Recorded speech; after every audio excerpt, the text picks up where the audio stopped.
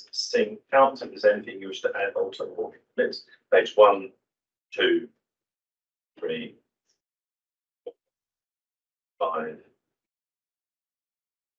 six, seven, eight, nine, ten, eleven. Anything from anyone? If not, thanks very much. So we go and the action log. Nothing on the action log. We'll go into our individual, individualized care presentation. Thank you so much. Shall I- You want me to turn the slides now? That one. I to introduce. That's a note, like. Yes. Uh, so, um, we're joined today by Alison Blakely, who is our Director of Clinical Pathways and Assessment. Um, and Mike, who is our, uh, Senior Operational Compliance for, um, EMC and the Clinical Hub. Um, I'm going to hand over to them to talk about all of the work that we have been talking about around making sure patients get the right care in the right place. Thank you so much, Fenella. Uh, lovely to be here, lovely to see you all. Uh, so as Fenella said, I'm Director of Clinical Assessment and Pathways. Uh, my whole portfolio is around uh, identifying the right patients that we can do something different with other than taking a patient to an emergency department. So as early as possible in their journey with us, so at point of call or at each step in their journey, uh, thinking about what can we do differently and how can we better impact A on their journey and B on the wider NHS. So all of my teams uh, focus on that and that's our mission. Um, we are here today to talk about a patient's story um, and we will be thinking through what this story says about the different way that we are now operating within our clinical hub, uh, which is a group of clinicians in our control room. Uh, they have a variety of functions that they undertake. One is about safety and safety oversight. And the second is about, again, identifying those patients who probably don't need to go to an emergency department, but actually what is the best route for them. Uh, so this patient, um, and we'll go into the slides in a moment, uh, we absolutely would have sent a double crewed ambulance. And this patient absolutely would have ended up in an emergency department had we sent a double crewed ambulance. Um, and so through working differently, uh, which we'll talk about in a moment, we've actually impacted positively both on the patient, their outcome, and the wider NHS. Thank you. Um, good afternoon. So, uh, yes, as Nella introduced, I look after EOC Clinical Safety and the Clinical Hub currently.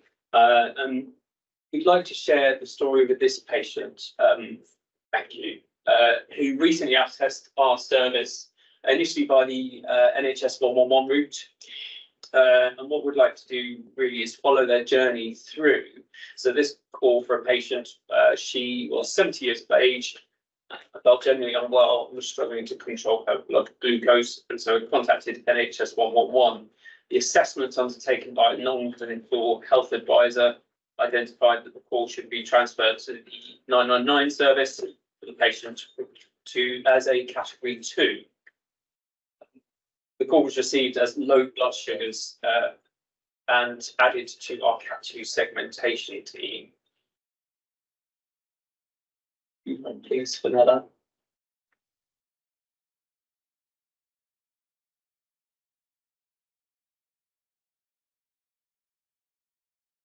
so in the London ambulance, we're one of two early adopter sites for category two segmentation, which has now been rolled out across England, and we are supporting nationally for other trusts to roll their models out and to optimize them. For this patient, she did meet criteria to be clinically navigated as a category two patient. So a call that has been previously identified by uh, analysis of many thousands of calls for patients who may benefit from a clinical telephone assessment prior to the dispatch of an ambulance.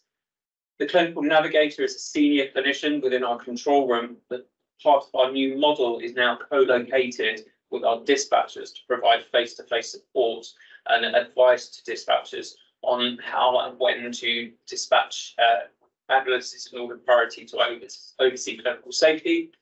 There are three options at clinical navigation, which is a rapid review of the information transmitted to us, in this case by NHS one one one or obtained by the call, is to either upgrade the call because they're clinically concerned about the patient, to leave the call for the face-to-face response as the original priority, or to allocate a clinician to undertake a telephone assessment. But this case specifically, the clinician identified that the patient would benefit from a clinical telephone assessment before dispatch. And we reviewed the call two minutes after the call was received into the nine nine nine emergency operations centre. Just, just that, so how did that? So it comes to us by the ITK and automatically populates on the geographic dispatch stack the, where the, where the patient's located. And the clinician will open the call and review the information on there. So the assessment by the health advisor, this patient's alert, what's their medical history. Do we have uh, evidence we've been to the patient previously and they have quite a complex medical history? Is the response priority appropriate for what the patient is presenting with? And they'd make a, a, an educated clinical decision whether or not. Gee, I don't think a telephone assessment can bring anything to the path if the patient needs a face-to-face assessment, just observations. Or actually, let's have a chat with the patient first, because it might be a pathway that we can refer the patient to before dispatching an ambulance. Perfect. Thank you for Uh, and so part of the clinical assessment are clinicians within the control room. We have implemented what we've called the revised dispatch model. Um, I'm trying not to use its previous term. Uh, and we've taken, we've increased the number of clinicians within our control room. So our clinical team navigators are band seven clinicians. We have doubled our capacity in clinical team navigators since August of last year and we're on our way to recruit our of clinical advisors. What that's enabled us to do is to take a Pan London view where our clinicians are working from all of the calls and give them a smaller area of London, so an ICS focus. And this increases their bandwidth to oversee safety and ensure the appropriate response to patients. It also means that we can assign clinicians to the area they are used to working in so they are familiar with the pathways, some of the challenges, the hospitals and the demographics in that area. For this patient, the clinical advisor was a paramedic, band six, who uh, undertook the clinical telephone assessment and that's supported by the Manchester triage system, which is clinical decision support tool. It's a reductive process to ensure that the assessment is safe and to elicit any time critical features that would require an immediate dispatch for the patient. This patient in particular uh, felt generally unwell, but was unable to give any specifics, but there were no time critical red flags that we needed to consider at that time of the assessment, but they were struggling to regulate their blood glucose. They asked for advice on how to manage their insulin, which as uh, paramedics, that is not something we're normally trained to do. Uh, and so we have some senior support within the control room, within our clinical hub that can provide face-to-face clinical leadership for our paramedics to ensure that we have optimized referrals to alternative care pathways as opposed to ED by default because we can't answer a question. Thank you.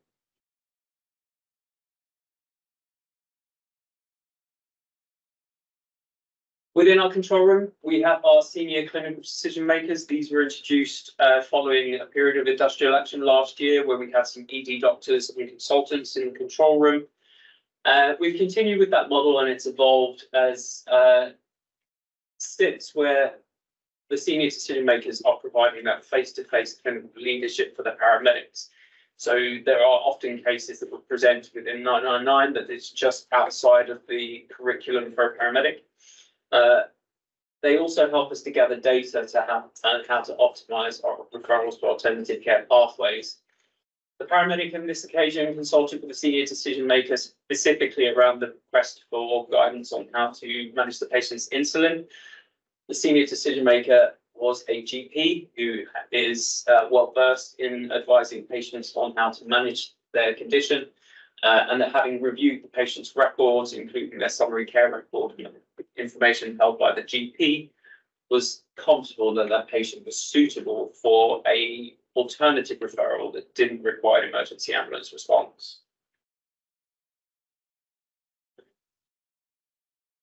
So instead of sending a double crewed ambulance, which we absolutely would previously have sent to this quite complex patient, actually we uh, were able to refer this patient into one of our UCR cars. Uh, I've previously spoken at board about uh, the development of UCR cars within the London Ambulance Service. And those cars are staffed by a paramedic and a community clinician, uh, in this instance, a community nurse who also uh, luckily uh, had a specialism in diabetes. Um, and so this patient was referred successfully into uh, one of our resources and uh, they were able to attend within that two hour time frame that the UCR teams uh, adhere to and uh, were able to undertake blood analysis and a follow up appointment for that patient. Um, and as I said at the start, uh, this patient absolutely would have ended up in an emergency department had we not done this assessment earlier on in their journey and had the availability of other types of resources, uh, such as the UCR card, which we've just described. Thank you. I'll stop sharing. Thank you very much.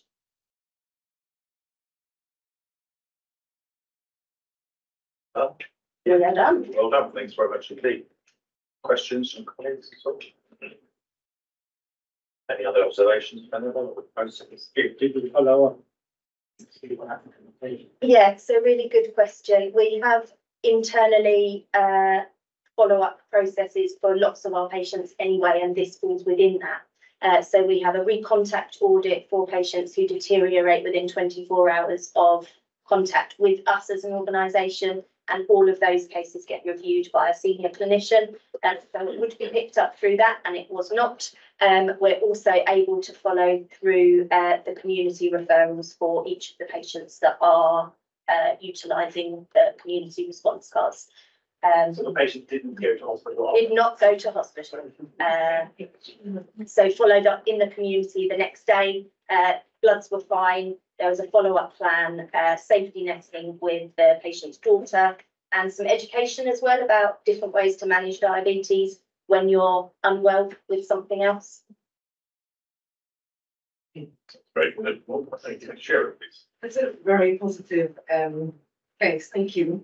So from a system view, and you may not know this, have the patient tried to contact the diabetic team or the GP practice before calling us? Uh, good question, and probably we don't know the Yeah. answer. Okay. What I can say is that we very, very frequently see uh patients who access one one one because it's been quite difficult to get hold of their core teams. Mm. Uh, and quite a lot of those patients end up coming into the nine nine nine staff because that's, Yeah, because I was just looking at timing, so I think this happened in the late afternoon, about Yeah. five o'clock. So my question is, like, what was happening between eight thirty AM and five PM? Yeah.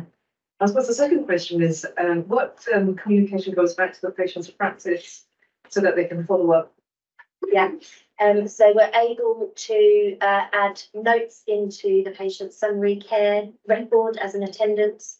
And we've also got um, not for this patient specifically, uh, but we've set up a process of sharing incidental findings and information with the registered GP. Um, so that's something that we're also developing. For this patient specifically, uh, the GP would have been uh, informed of our contact with the patient, uh, our findings with the patient, both over the phone assessment and the face-to-face assessment. And then they would also be uh, aware of the follow-up, so the community team following up in the coming days. Yeah, Electronically? Yeah. Okay, Once a letter. Not a letter. That's good. Not an inside. That's awesome. It's on the um. The response more globally, what percentage of patients that we hear from that are amenable to this um UCR response get one? Sorry, can you ask the Well- question again, just while I process it? Yeah, so what, the numbers of people that, that call us, Mhm. there'll be a certain portion that would benefit from this type of response. Yeah, the urgent uh, community response. Do, does everybody who would benefit from that get it?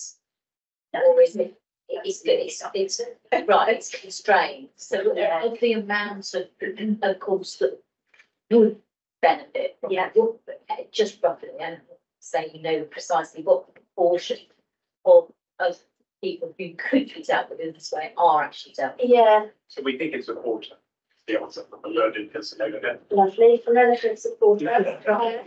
But you may think it's more, but I think Um, so, yeah, I, don't think that's wrong. Um, currently we have, uh, two cars in most ICB areas. We've got one in, uh, northwest London and about to be one in southeast London.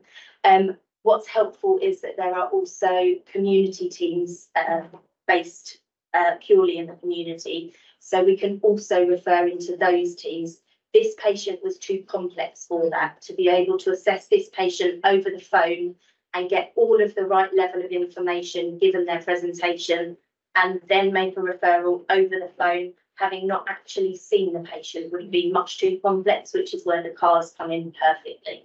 Um, but in terms of opportunity, there's huge opportunity. If we think about the volume of falls patients that we see, catheter problems, uh, complex medical problems like, like this, opportunity is massive. And you're clearly done very well. This is a failed patient care plan. And the patients should have contacted the practice team that looked after them earlier in the daytime, and nowhere near one one one. And you managed completely appropriately. Yeah. Maybe the same card sent out by the practice if they needed face-to-face assessment urgently, probably not. So it really does speak about how we begin to invest care planning more widely in the system. Because clearly we see the failed care plans. Uh, and then we have to put something in that's very good, but most of you got it right earlier. I think, I was to make a point about the penalty. Uh, no, my, you, please go ahead, because mine was. So this response that NAS has produced is a very good response to the patient in the here and now.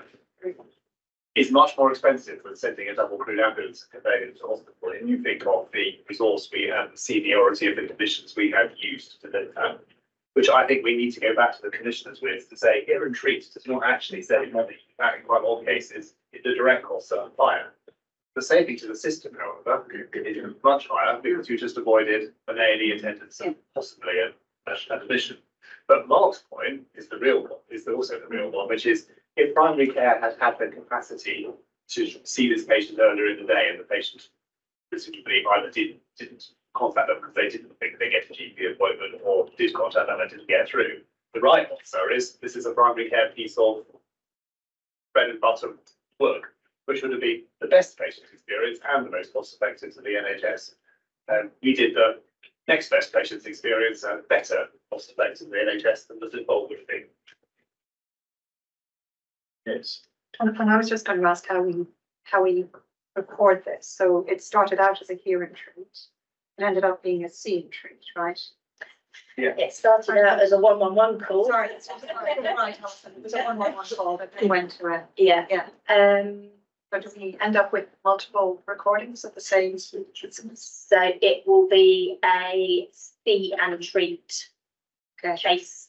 Um, because we've sent a resource. If we've been able to refer the patient to the core community team, uh, that would have been a treat. So we only count each patient once wherever they end their journey. So, so I think just sort of going right back and together, this was a patient where the triage through whatever system we've used was not incorrect. Because you've got a diabetic patient who required some form of intervention to stop them becoming sicker. But the category two segmentation has permitted us to be able to identify those patients where we can do something different to send an emergency ambulance and do the right thing for the patient. And what that then means is that there's an ambulance available to go to a patient who may have been identified as having cardiac chest pain or stroke. So both patients are benefiting from that, from that uh, opportunity that we've been afforded through Cat two segmentation. Good. Oh, no, that's really good. Thank you so much. I thought it was really good. And, um, yeah, there's clearly a lot more to be done on this front, isn't there? Where we can start to use those demands. So, Give people that right care. Be interested to know, Alice, when you get a moment, just the situation in the southeast, maybe outside of meetings. No problem at all. I'd like to do that. So Mike and Alice, thank you very much. Thank you so much. for your Thanks, Thank you. Thanks. Thank you,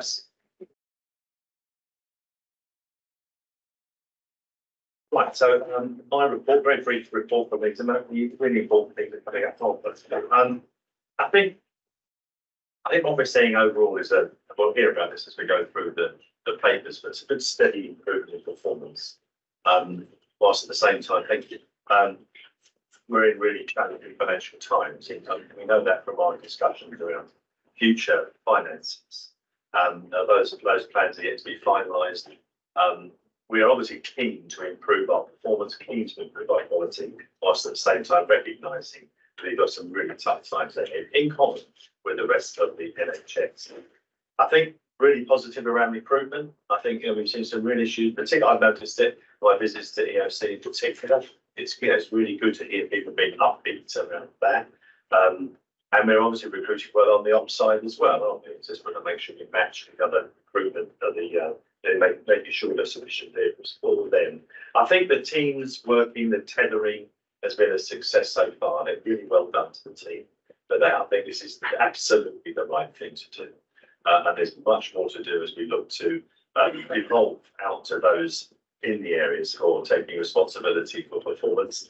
But there, will also obviously need to have the wherewithal to drive that performance by being given the, uh, the means of controlling what they've got under their very feet. So we're looking for more to come from that side. I think the staff survey results, and we hear about those, are very promising, but they also only reveal some good stuff, they reveal what else we've got to do. Yeah, there's a, a huge amount for us to do, and we should be very cognizant, I think, of those challenges ahead. And I think that'll be a major part of what we do as a board is a good oversight of cultural change and all of those issues that we've got to be cognizant of as we go ahead.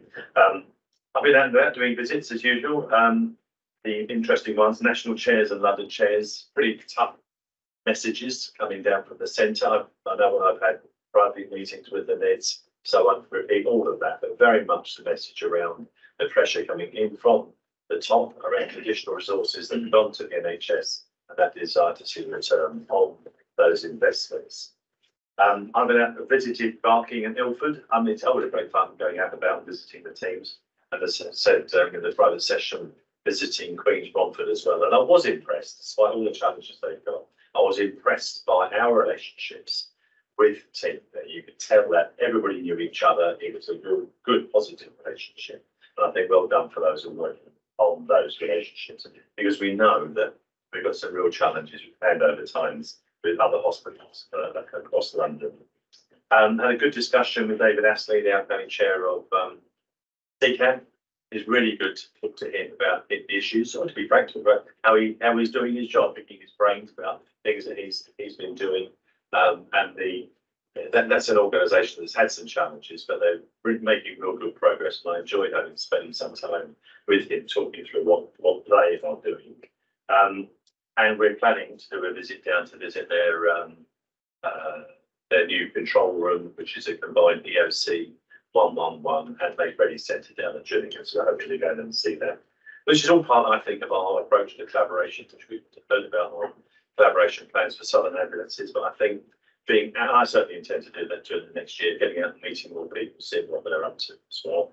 And on that um, score, I visited Maidstone and Tunbridge well. I wanted to see particularly what's happening on their handovers in ED. And I know a different part of the world, but there were no delays at all.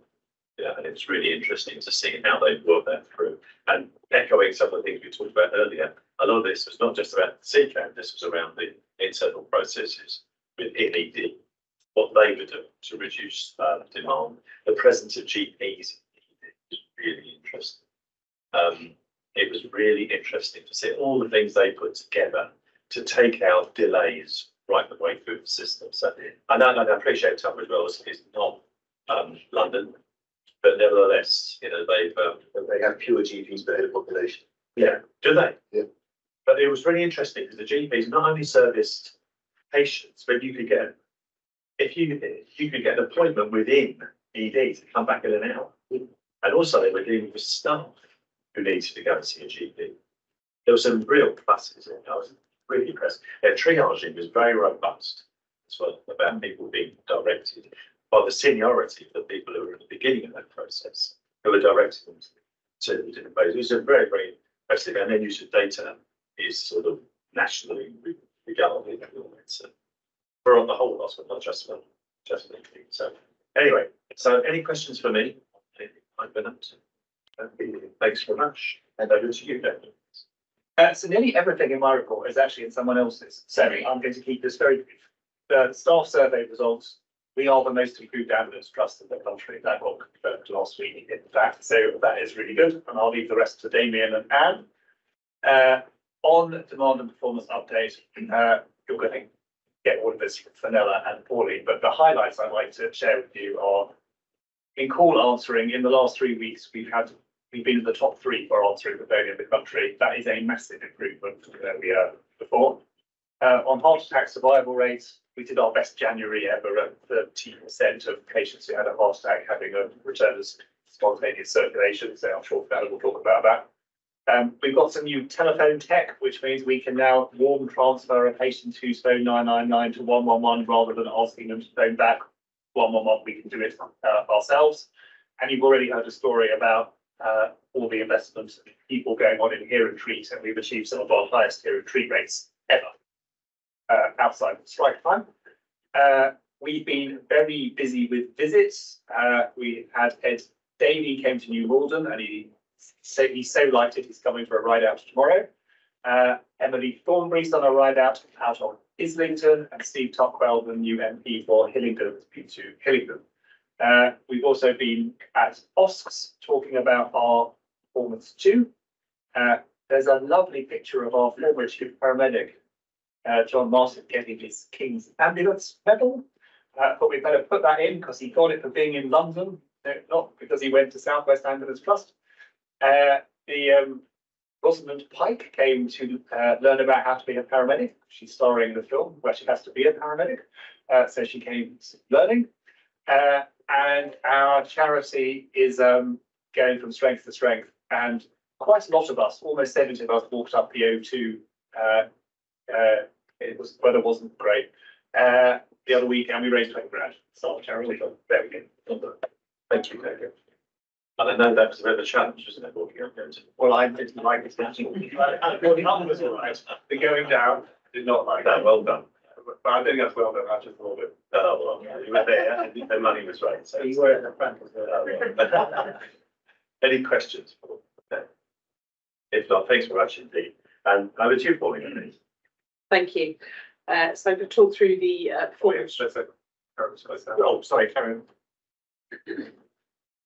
Uh, I, I thought it was worth just highlighting the staff survey and the chief exec report because it it's quite a remarkable improvement. Not, I think, for any trust in the current climate, not just for ambulance trusts and things. And it's um, you know, to shift the dial on culture um, like that is, I think, quite a big deal. Um, and it's testament to everyone. So I, I thought it was probably worth just highlighting it a bit more. I, and obviously, I think culture is not fixed yet, though. So that's something that needs um, you know continued focus, and we'll pick up on that. Just a quick, I think, minor point: the table on page thirty-five, the numbers don't add up on on the um, number of thank yous received. Either that, or I don't understand the table. But it's nothing to spend time on now. It's just for correction later. Oh, Sparty, Karen, thanks very much. Okay, right, Pauline, back to you, thanks. Thank you. Uh, so the performance reports in the pack uh, refers back to the January and February 2024 period.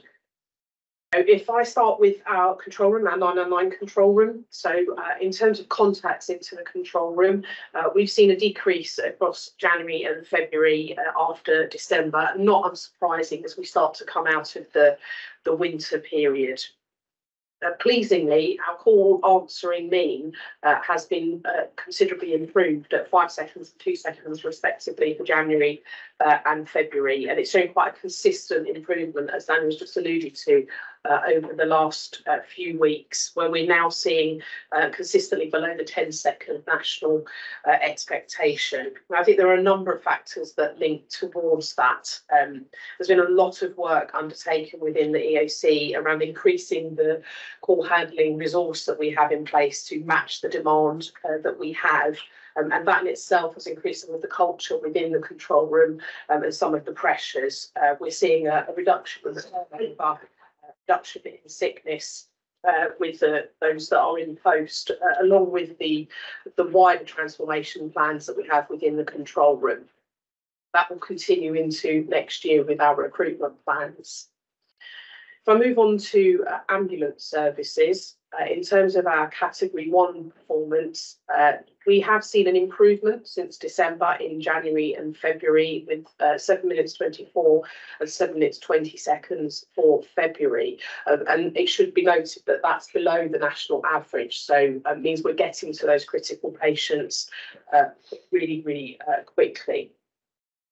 If I move on to our category two performance, uh, we've shown again some improvement against uh, December, November and December. Uh, in January, uh, reporting 36 minute category two uh, and February a 37 minute category two. Again, when we benchmark ourselves against the national position, uh, we see that we are um, seeing significant improvements month on month. Uh, if I move on to our category three performance, um, we have seen some challenges with those uh, that, that cohort of patients. Uh, in January, we achieved a one hour, 14 minute uh, for our category three and February of one hour, uh, 11 minutes.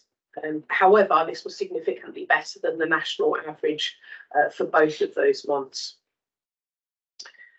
If I move on to our hours lost uh, at handover, uh, again, it's a positive picture. So we are seeing a reduction in the overall hours uh, that have uh, been lost uh, with crews awaiting their handover. You can see throughout uh, January it was 10,000 hours and in February it was 9,000 hours. So whilst it's a considerable number of hours, it is an improvement on the position we found ourselves in last year. Um, and that can be largely attributed to the introduction of the 45 minute handover process, uh, stronger relationships with the hospitals, um, and the cohorting of patients really being taken care of by the hospital staff rather than using our ambulance staff to do that.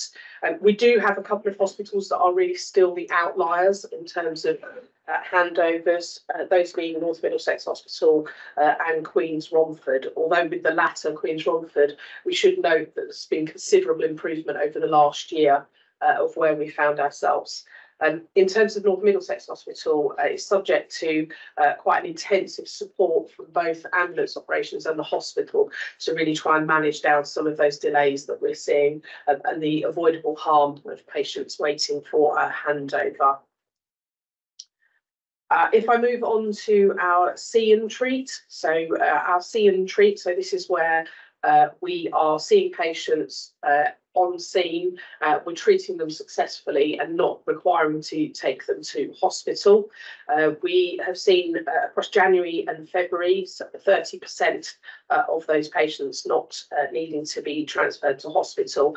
I think we need to link that together with some of the work that we've been undertaking, um, as we've just heard through uh, through Alison and Mike, within the control room around hear and treat. So we are actually sending ambulances out to progressively more sicker patients because we're the, the patients that are of a lower acuity uh, safely within the, the control room. So we would expect to see that number start to rise as we get to the right patients. Um, and similarly, that links to the patients that have been conveyed to the emergency department um, with uh, being 52% and 50% uh, in February 2024.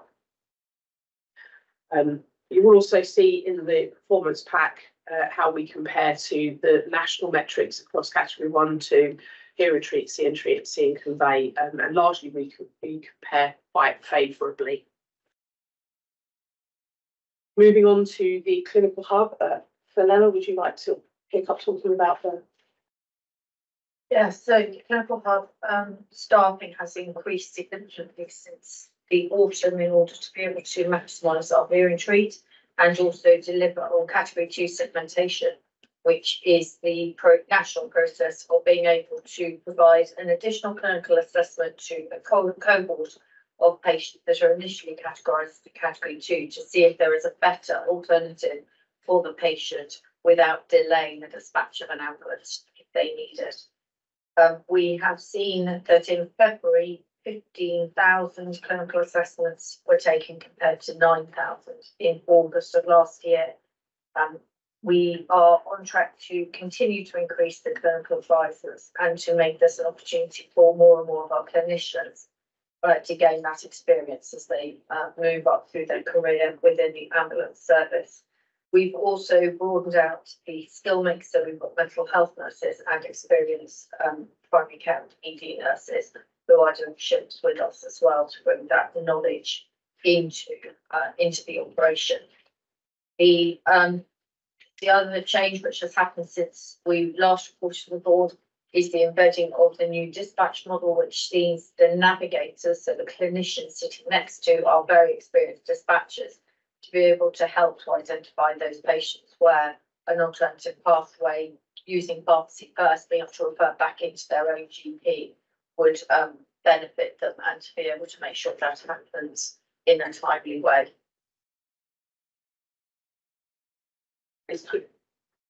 Uh, so in terms of the uh, integrated urgent care approach? Yes, uh, thanks, Pauline. So, um, before I go into some of the detail of the report, just as it's been, been through the previous section of the performance report, we've embarked on a fairly comprehensive, uh, change and transformation program within uh, started about six weeks ago. Um, and the program looks at all the elements of how we deliver service, so from the front end of um queue management, coordinating, people process managing. All the way back to how the PAS operates, how we operations that, how we manage the queue. How we flex resources with demand. What information we use and how we engage with our resilience partners and stuff. So that is a significant piece of work and something that this, so we haven't embarked on delivering the service. Um, and hopefully, and it's a five month program, and hopefully at the end of that, we'll in new processes that um, where we can, better for patients and better efficiency and better for staff as well. But the performance that we have before us, as said, relates to January, and February. Uh, activity, the first graph, the section, is recorded the same as it has been in previous months. Um, uh, and however, the abandonment rate, uh, so the calls offered, uh, but the abandonment rate has uh, increased previous, previous, uh, previous month in January and reasons for the start of this program, including end-to-end reviews, uh, and pathways and processes. Uh, speak to answer, again, we're not where we want to be. It is like, it is impacted on the phasing of the demand and when demand comes in on which, and this was the same, but in the same periods. Um, we're looking at that and the graph shows that the latter part of February, uh, went down to ninety-four seconds from the average, well, the year, so there is being made. Whether or not sustained or not is a. Um, and then the other area of focus is clinical impacts. Or trying, so we where we need to be. Um, and do not need to be individualized with that, so there's a lot of focus on this. Doing this piece of work around, uh, clinical impacts. Uh, within.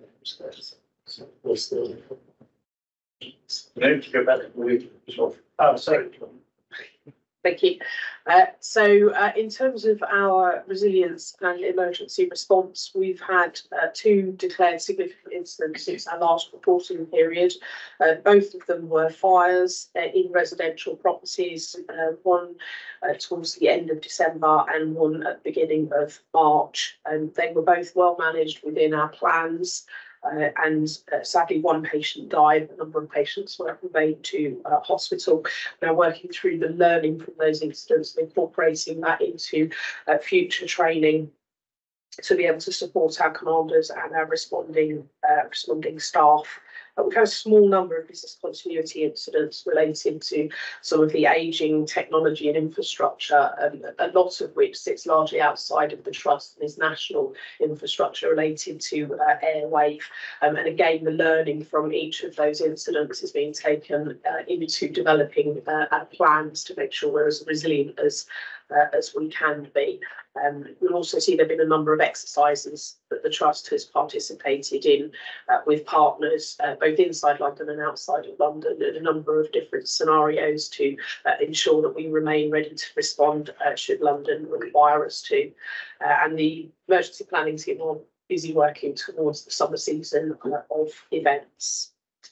Uh, if I finally turn to advanced practice, so uh, we've recently recruited, uh, been out to recruit for critical care uh, paramedics. Um, we saw a phenomenal response, 118 applications for quite a relatively small uh, requirement of posts. So on internal. Uh, they were a combination of internal and external. Um, so uh, there's a lot of interest in that post. We're taking 25 through to assessment centre later in June, and we're quite confident we will fill the vacancies that we have from the critical care uh, perspective. Uh, if I move on to the urgent care, uh, um, uh, urgent care paramedics, we've recently appointed a consultant paramedic in urgent care um, and a small number of clinical supervisors to support the ongoing development uh, of those urgent care paramedics. And again, you will see that of the of the twelve that we recruited last year, they're well on their way to uh, being qualified and being able to practice completely autonomously uh, in their role, um, which will then see them be able to support the wider organisation in terms of education, uh, learning, clinical audit, and, and the other four pillars of their role.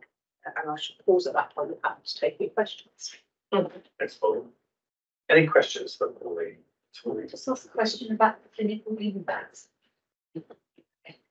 Do we know about when there's this level of delay about what patients do? So when, when we, when we do ring back, are they gone and done something else? You want to take this? Um, so, so during the time that they're waiting for a ring back, it's an advisor will keep in touch with them and identify if there's any change in that condition. Then be able to reprioritise them.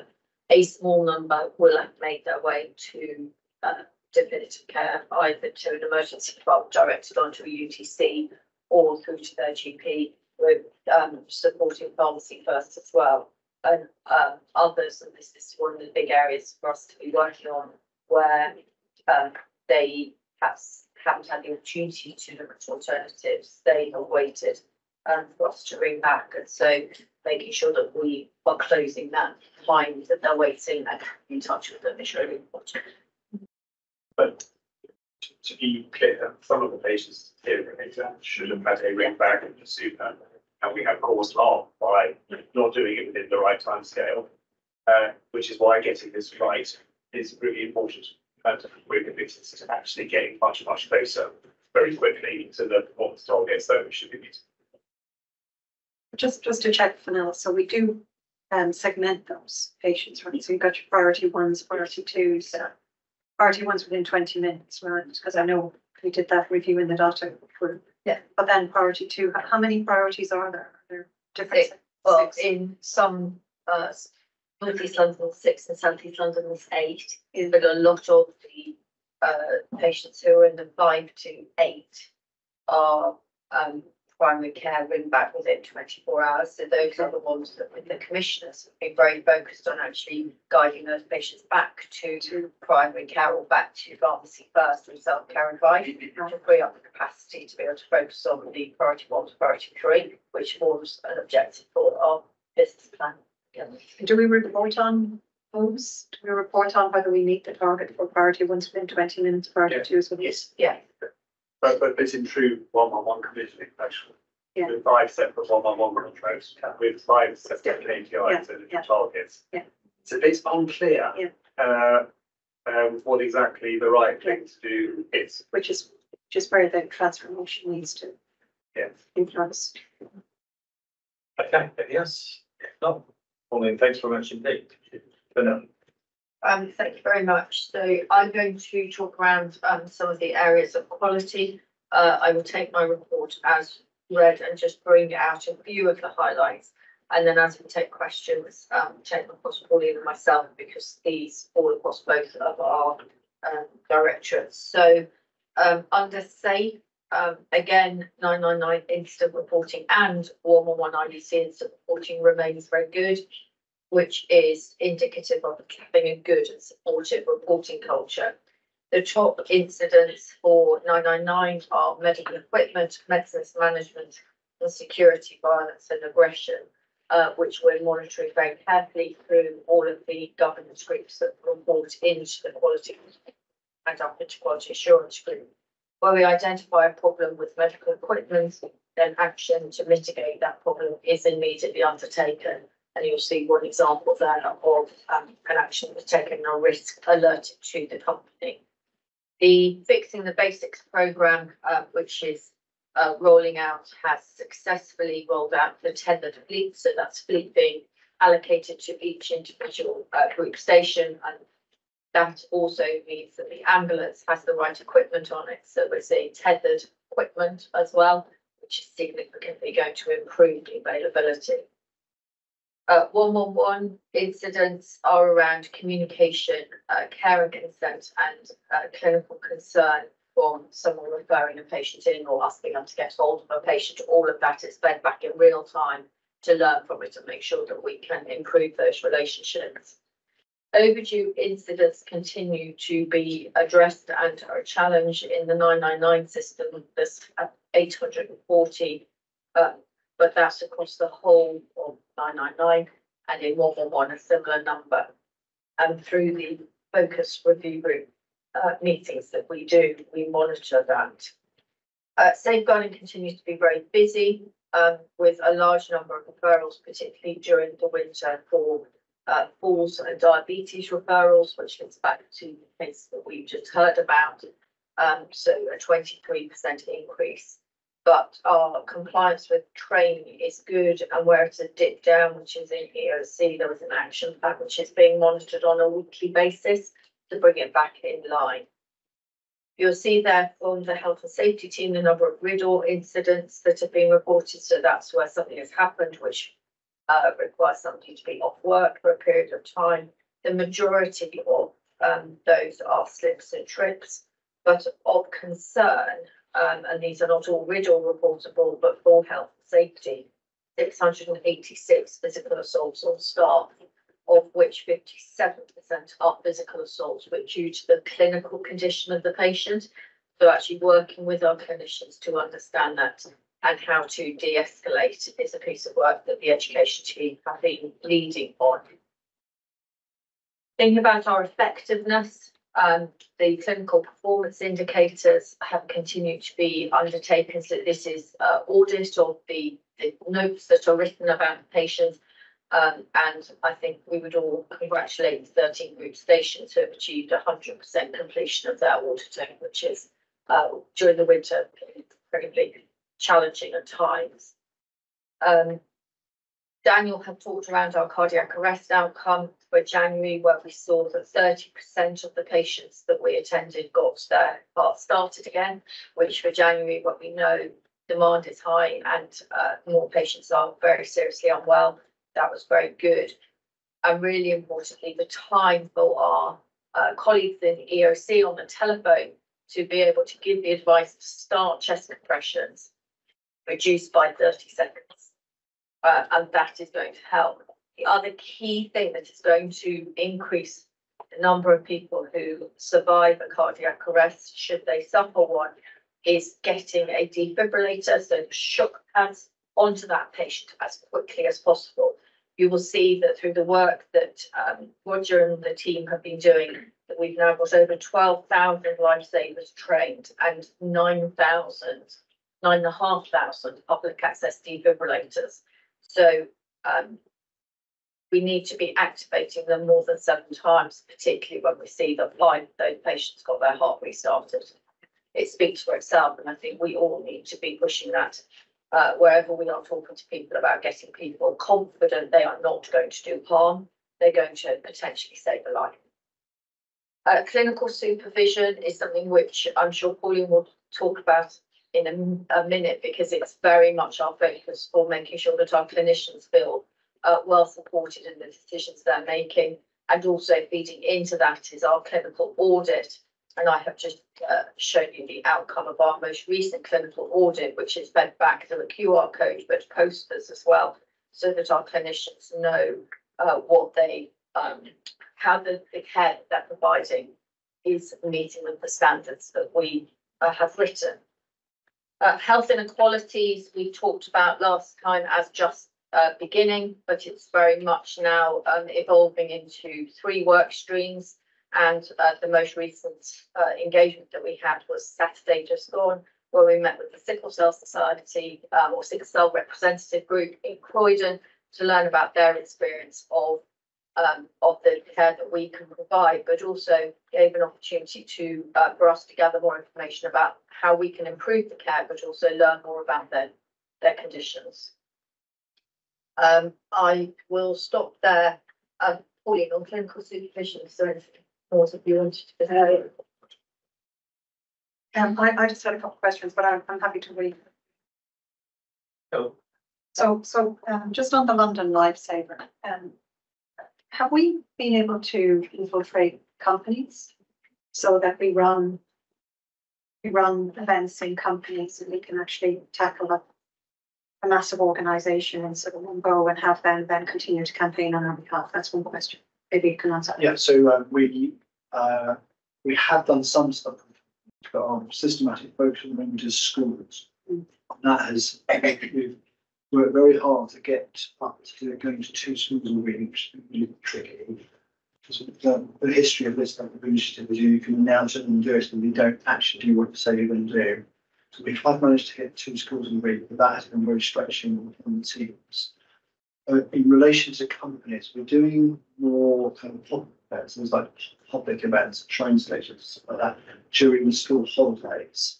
And our next focus, those school holidays, we are thinking about s- possibly connecting that to donations around particular relators. Yeah, yeah. Um, so that's a, but you would, our capacity is pretty stretched frankly in terms of, but out of that you can go. Yeah. Because companies will also have clinicians. A lot of the larger companies will have clinicians as part of their own health and safety and home sort of staff well-being. So that could be another pain point, just in terms of, you know, capacity. Um, Yes. And, and I think the idea of getting the defibrillator donations. Yeah. It seems to me could be a- a really lucrative. Yeah. Market. Indeed, Along with blood transfusion at the same time and some blood. Uh, yeah. Um, and sorry, Fenella, I just had a question on the health and safety. Um, there's a mention here, um, we talk about the physical assaults, there's a mention of workers progressing to procure a new body armor. Is that body armor, what's the body armor? Is that going to actually make a difference? Because we already have the body worn camera, so I'm trying to understand. So I think that refers to the replacement, so the um stab vests that we have Okay. are, So we've had quite a long time, so it's pro- procuring uh newer, lighter models of. um, fine, okay, so it makes it easier for, for staff. And then, sorry, one, one final question, sorry, just on the one one one integrated urgent care, number of incidents. Um, there's a reference here to the subcategory around call handling. And mainly, um, outlines the, the the recording of the demographics and some errors in the recording. I'm just curious as to, is there any automated solution that could sort of resolve that in some way? Coming. Yeah, it's coming. Right, So one of the bits of tech we can see is since most people phoning one one one from their mobile phone. Yes, you pick up the number. uh, we will be able to lift all of the demographics of the mobile phone as Yeah. opposed to us. Uh, and the way of doing that, send a link to the mobile phone. If- Uh, while the person is queuing, you ask them, can you complete Take it? a contact. And all they have to press is okay, and then the phone sends it. Yeah. Uh, so they've given their consent by pressing okay. Um, so you get around that, but we need a little upgrade in our tech before we can do that. Ronald, thanks. Um, thank you. Um, um, just, just a question for Nella on, uh, overdue incidents. Um, I, I just noticed over fifty percent of them, I think, are patient incidents, and I just wondered what's, what's in that backlog? Do we know? So, uh, the incidents that are graded, uh, no, uh, low harm, moderate harm and severe harm and death. Everything that is graded moderate, severe and death is looked at immediately through the, uh, local patient safety groups that happen weekly and feed into, um, a, uh, once a week meeting that Pauline and I chair to review the, um, serious incidents. The others are, um, are low harm where um there is uh no immediate harm to the patient being identified, but learning potential is there and that's picked up through the incident learning group. Um, that being said, the position of having that many unopened and unresolved is something that we're very focused on resolving and having a system in place for the next financial year where we, we have not got that backlog. Mark, Okay, thank you. Under health and safety, is there coming down six hundred and eighty-six physical assaults? And while you pointed out that a lot of those are related to the physical condition of the patient, that still leaves two hundred and ninety-four that weren't. And we have fourteen prosecutions, which is two percent of assaults under prosecution. Which is better than it used to be, but is still much, much lower than it should be. And we hope that body worn cameras would be able to contribute. So I don't know whether we have evidence that the body worn cameras contributed to the fourteen prosecutions or what else we're doing to try to address this. So we do have evidence that, that it's contributed in some cases, um, and I think what's, what it has also helped is to encourage more staff to use the one-on cameras. So, uh, seeing the benefit, seeing the, the opportunity to sometimes de-escalate incidents, um, that one-on cameras have assisted in. I, I agree, fourteen is a, a small number. It's often quite difficult to follow up with the prosecution for a whole host of reasons. The Police attended a large number of them, so you would hope that we'd be doing better. Yes, uh, well, I would hope we'd be doing better. I would hope we'd see as many of our staff being assaulted. Um, I, I guess, you know, it's, it's not straightforward often. Um, I can certainly follow up um, and perhaps bring down a better breakdown in the next um, in the next report as to how much interaction we've managed to progress. I know the team are very busy and it's quite a small team that we currently have working through that. Um, they follow up on every case that they can with the Metropolitan Police. But you can get copied into most of the data. Yeah. Ways. I, I think the number of prosecutable cases is quite low. Because nearly always there is a medical condition that is underlying the patient's behaving. uh, Very inappropriately, uh, which I think makes the prosecution quite hard. Um, So it's just a skeptical. well, that's what, when you read the data, it's, it- that, that's. Medical Um, conditioning, we end up, Intoxicated, yeah. well, it's less that, and it's, there's a lot of them. there is a, there is a lot of that. That shouldn't be a mitigation against. No, no, but I don't think that is, but, well, the one, I don't get, I just, I don't get very many of the ones that are, where patients. patient I'm guessing the ones where. Generally, it's a mental health issue that is the issue rather than the person being drunk. so we'd like to know a bit more Yes. next time, back at pace.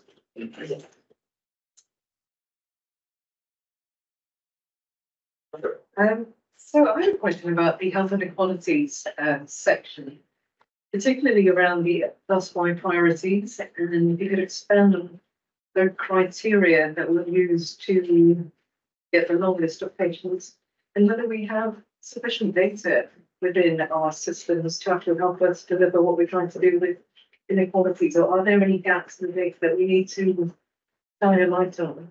Um, so there are gaps in the data. What, what, what, we're- what, we're trying to do here is identify, um, a small number of group- groups of patients who we think are impacted by health inequalities, where we can make a difference. We Had a workshop on this last week, and I had to say it was extraordinarily informative.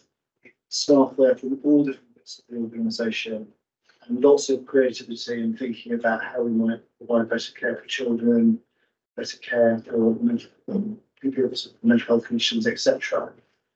Um, and we've made a start, as Fenella suggested, with sickle cell. That the first one we went for. Was a lot of consensus that we wanted to go on after, uh, go, go, go, go for that particular condition. Uh, but significantly, Fenella and champion that.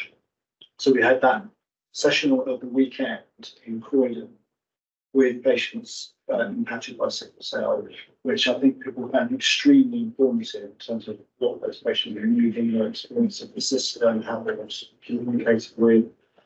So we've got kind of proof of concept, I suppose, that listening to the cohort of patients was definitely the right thing to do. And this exercise is to ex- find other groups of patients that we want to do that with. We're going to do all of them in one go, to sort of break them up into different groups. On data, our um, they, we don't have work data um, in this area, and we are trying to improve that data by getting access to what the NHS actually collects on things like ethnicity.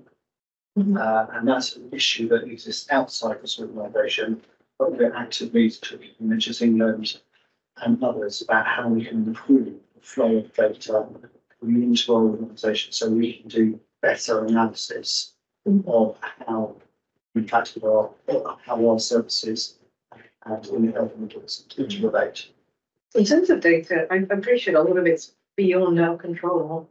Ethnicity is a challenge, I think, for all NHS, but within the scope of our control, is there anything we can support with in terms of data collection, in terms of outcomes, for example, for people with sickle cell or anything else?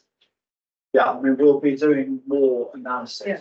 on all of those different areas. So as well, as well as, so we, we- first step is to identify mm-hmm. the initial cohorts of patients we want to go look at. And then we'll look at the data that we have to support that, plus, plus raising the patient voice and then seeing what that adds up to. We'll bring all of that information back for discussion. So Roger, just building on Cher's point, um, I mean, we, we, we very intentionally um, asked that the digital strategy becomes the digital and data strategy. So it, it, what you're describing, is that going to be included in the data strategy when we eventually see that element of the, the work that's being delivered? Yes. Fair as Yes. Yes, we'll, we'll, we'll, we'll, we'll make sure we include it to go here as well. It's- I, I I think it's massively strategic and that's why I, I think it'd be really great to see a joined up sort of mm-hmm. strategy. Not just for the digital piece, but also for the data piece and not just in the delivery of data, but actually exactly as you were saying, the mining and how we can use data to actually benefit the wider system as well as have greater insight on our patient cohort. I think just one thing to add, I mean, you probably sort of noted in my paper, the Yeah. EDR committee, we're expanding the scope of that Yeah. committee to include health. and I saw that, yeah. But you and I should need to We should work through discuss where the data element of that is going to sit. Through there is going to be more of a focus on it through that committee. Yes, and I'm just very anticipating that that committee will say, show us the data. Yeah. Um, so, uh, that, that, we, we we're expecting. But it's, I mean, sickle cell is a, an interesting case. The outcome is unlikely to be any difference in the attendance to hospital or anything like that. Should they improve patient satisfaction, can probably better use of analgesics. Those are things we can measure once from the analgesics, certainly there are about. But, uh, Thanks very much. yeah. Mark? Uh, I've seen my reports and I've had a chance to read it, happy to answer any questions. If not, okay, thanks very much. Uh, David, please. Thank you. Um, so to do a bit, a bit on the staff survey. Um, you colleagues would know we discussed this in prior to regards embargoes, which is why it's not the PCC assured, because the embargo obviously happens much later. But now it is in the public domain. We're very pleased to announce we made significant progress in all the people policies. On page seventy-four, the first page of my report, you can see a sea of green, which um, which is fantastic for us. I think last year we started to see green shoots, and now we're seeing the fruits of our labour to some extent. So of the ninety-seven questions, we improved in ninety of them. There were noteworthy improvements in teamwork, leadership and learning development. That's on the backdrop of a response rate of sixty-eight point four percent, which is the highest in the sector. I mean, it's only one behind the highest in the acute sector. So I think what we're demonstrating is our true staff engagement voice, and with over five thousand people feeding back this year. Um, we did decline on seven questions, uh, arguably statistical relevance, because it was 0.01 to two percent. But that said, I think we were disappointed to fall behind on some of our key objectives, namely around discrimination and harassment. There is certainly work to be done in that respect. Um, I should also call out, this was the first time that the NHS introduced the sexual safety question with respect to staff, on staff, um, sexual safety harassment, and also respect to our colleagues receiving harassment from our patients. And it's widely reported this is a particular problem in the ambulance sector, and we've been quite brave talking about it um, and taking action on it. Our zero tolerance stance um, is widely accredited as an exemplary practice. We developed our own sexual charter three years before the NHS was maintaining that knowledge this year. And in there, you'll see a wide range of interventions that we have done or planning to do going forward. However, um, it goes without saying this is a form of harassment that is most concerning to us. We are working very hard to eliminate that um, and to make our workplace a great place to work. Um, before I go into BAE, I wanted to know if you want to stop or start seven. Just to congratulate you. I'm sure there's also some. Yes, I mean, I think I was going to say one thought, but I said it when we talked about this in, in, in private. I mean, certainly in my experience, this is astonishing, this level of of improvement. And again, you know, we haven't said it, but again, against a backdrop of industrial action. Um, so against that backdrop and the national employment relations backdrop to get this level of improvement, um, I think is, is, is really, really commendable. So just recognise that I'll be with the executive. Yeah, that was well done, well done all, this is a good team, effort. visibility across the trust. as well. Um, just wanted to comment, uh, Daniel and I went all down Bromley yesterday, and uh, Daniel was leading a session with about six or so our commissions there. That, and the thing that really came out of that was the importance of team-based working and the, and the conversations that were being had, and also the relationship with the direct line manager, which are both things we're specifically taking steps on over the past year or so. And that was, that was coming, you know, directly to us, those were two critical factors in terms of starting that. And just one point from me, I think it's just to commend as well, I think the actually starting the conversation around sexual safety and having those open discussions, I think is really helpful. Because you've got to put it on the table, you've got to listen and it causes people to reflect, and I think that's been really interesting. Um, Damien, I had a question, I don't know where to ask it, but on this anti-racism charter, is this the right time or do I wait till? It's going to run months. Thank you, Bramwell, please. Well, I I can probably also hold on to my question, but um, I, uh, well, I'll just, as I've got the floor, I'll ask it now. Um, the, the, the commendable number of initiatives on sexual safety, I mean, it's great to see. Can, we- can we do some, or are we doing something similar on discrimination and harassment? Because that's an area that we haven't done so well in. Yeah, in fact, I'll, I'll pick that question up when I finish my report. Okay, thank you. So, um, just briefly in terms of business as usual, recruitment, um, as you've heard throughout today, very strong brand, very strong pipelines, and then we reduced the back in that respect. So I won't go through the details, um, but you can see, uh, we are now fulfilling all our vacancies and we've got less than five percent. In addition, we just returned from Australia and we have a smaller number than we did last year.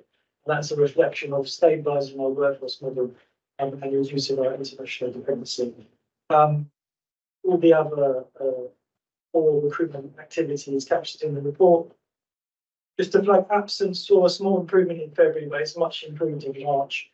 And now what we're seeing also is we've introduced some pilots about local reporting mechanisms. That went live this week, but that's again a building a culture of empowering our managers, looking to devolve some of the central control and to have better outcomes for our staff and managers. And linked to that is the scheduling team. They're on a transformation program and it's detailed in there with a similar motion of empowering managers. And finally, the OD team, various pieces of activity, but picking up on uh, Ronald's uh, question, we are now doing a cross-reference between the um, the cultural, the national cultural review recommendations, what our gaps are, what we're strong at, essentially a SWOT analysis. And I think the um, focus needs to relook about how we're doing our RESPA um, across all the protected domains, as whilst we are having um, we, we put as much energy in, but we haven't seen as much positive outcomes across all the domains. And I think that is a a good a good point to say we need to stop and take some serious look at how, what's working and what isn't. So there's a, a stop point in place. That makes sense. Damien, I had just a question on this scheduling transformation, because I also read in Alan's report that there's potentially a new tool as well. Now, in our DQ Digital and Data Quality Committee, we also talked about the call sign changes and all the bespoke integration that's occurred in some of those systems, including GRS. So I'm just trying to make, connect the dots. Is what comes first? I mean, is there a connection between? No, okay, between what Claire's doing. So Um, we've got one paragraph to say we have central scheduling. Now we have team space working. That seems like the right operating model. Let's devolve scheduling. We have one piece of work which says, should we replace the scheduling system? But we put that on hold essentially, because the piece of work which says, are we booking people onto Yes.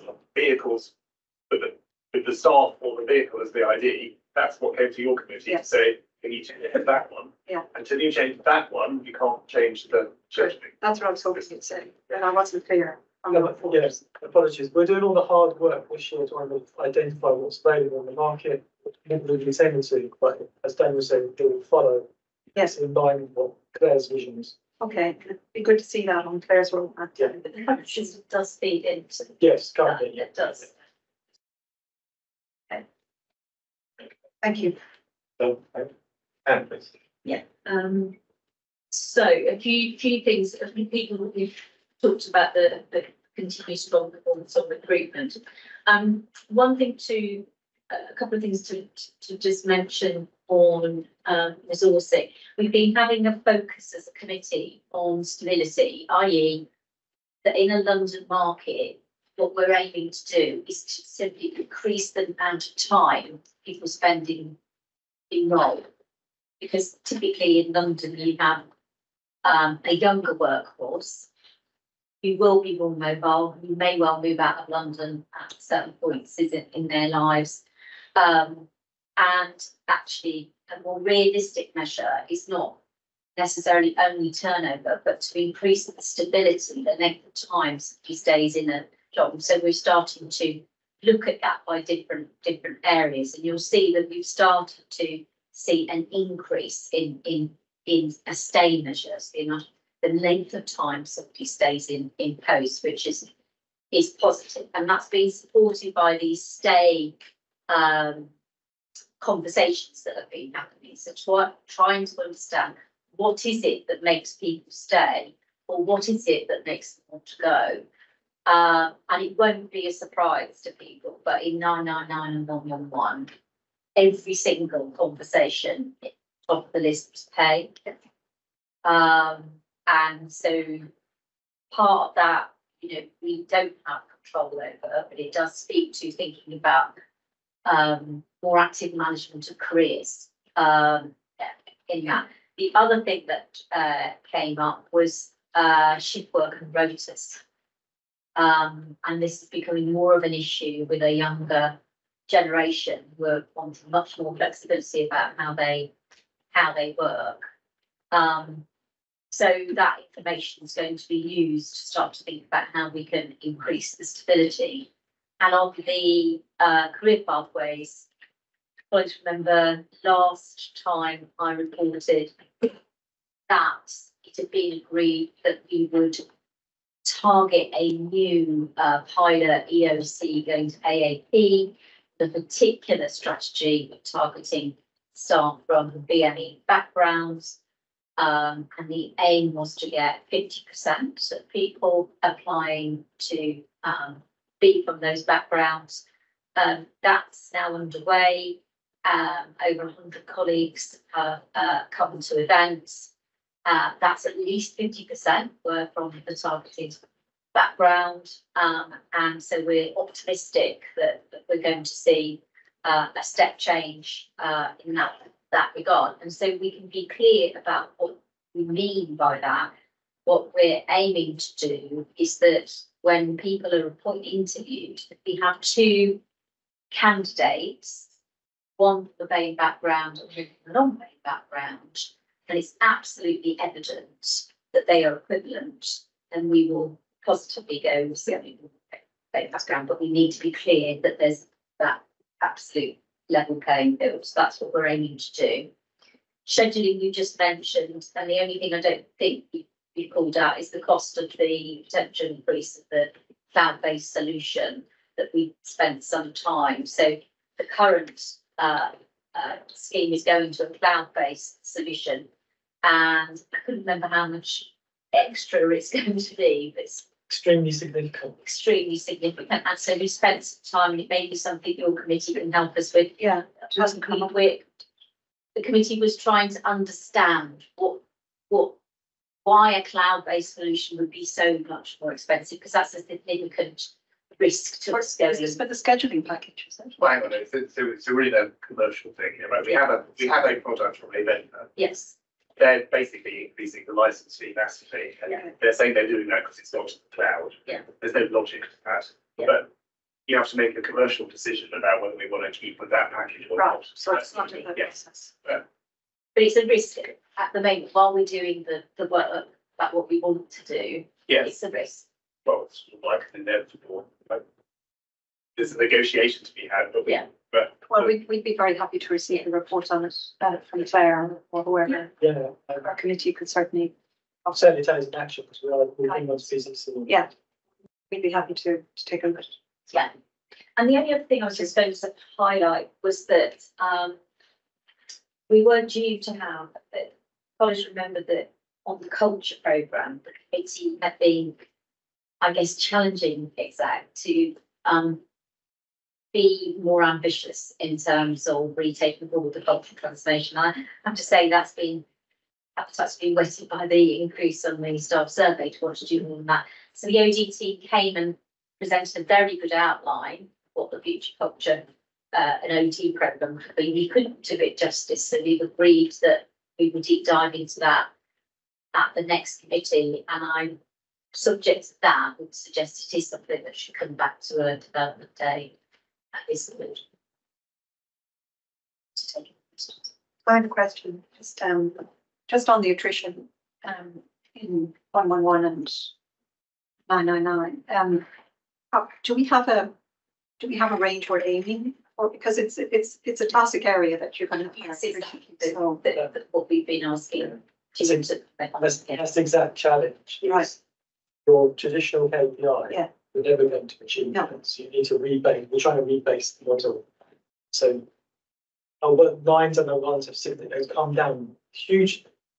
Um, and it's about stabilizing and benchmarking, more in that exercise, you know, working out what is the KPI we can measure against. Okay, and just in terms of the shift work and rotas, now, we have to differentiate between the nines and the ones. But I do think, again, there's a technology play of ones that could facilitate some of that greater flexibility for perhaps the workforce in terms of not necessarily having to physically come in at certain hours and being able to operate differently and then looking at a different model, a different resourcing model. So the, the evidence of no working in the ones, some providers have tried to do it, it is not good. So it's very hard to manage productivity remotely before on in call, in the call centres. And you also get the problem of when the person gets a very difficult patient, actually getting the support to them at home in a timely basis is much harder than it is when they're, they're in an environment with other people. Um, what's interesting is the rotas that we have in the ones are very different to the rotas we have in the nines. So the ones comes from a much more, uh, it's a much younger workforce who are much more willing to work shorter numbers of hours at times a day that suit them, which generally fits in very nicely with the call volumes. Whereas in the nines campaign, it's been a much more traditional, almost like an ambulance rota for a very long period of time. And that getting away from that to something that is more like the ones, it's a very hard piece of work, but we're making quite good progress. Maybe more ahead on. If you don't check, it's not in the So um, I'll take the report as a read and people have seen there was a lot of progress against the, the, uh, the ETRA progress report. A couple of things just to highlight from the reports for the committee um, being aware of. Um, so we took the gender gap report and there was really quite positive progress on that, but we had quite an important conversation. Um, when you look at, for example, um, the fourth bullet, uh, when we're seeing um, less uh, women uh, being appointed to 8A, 8B, 8D, VSM.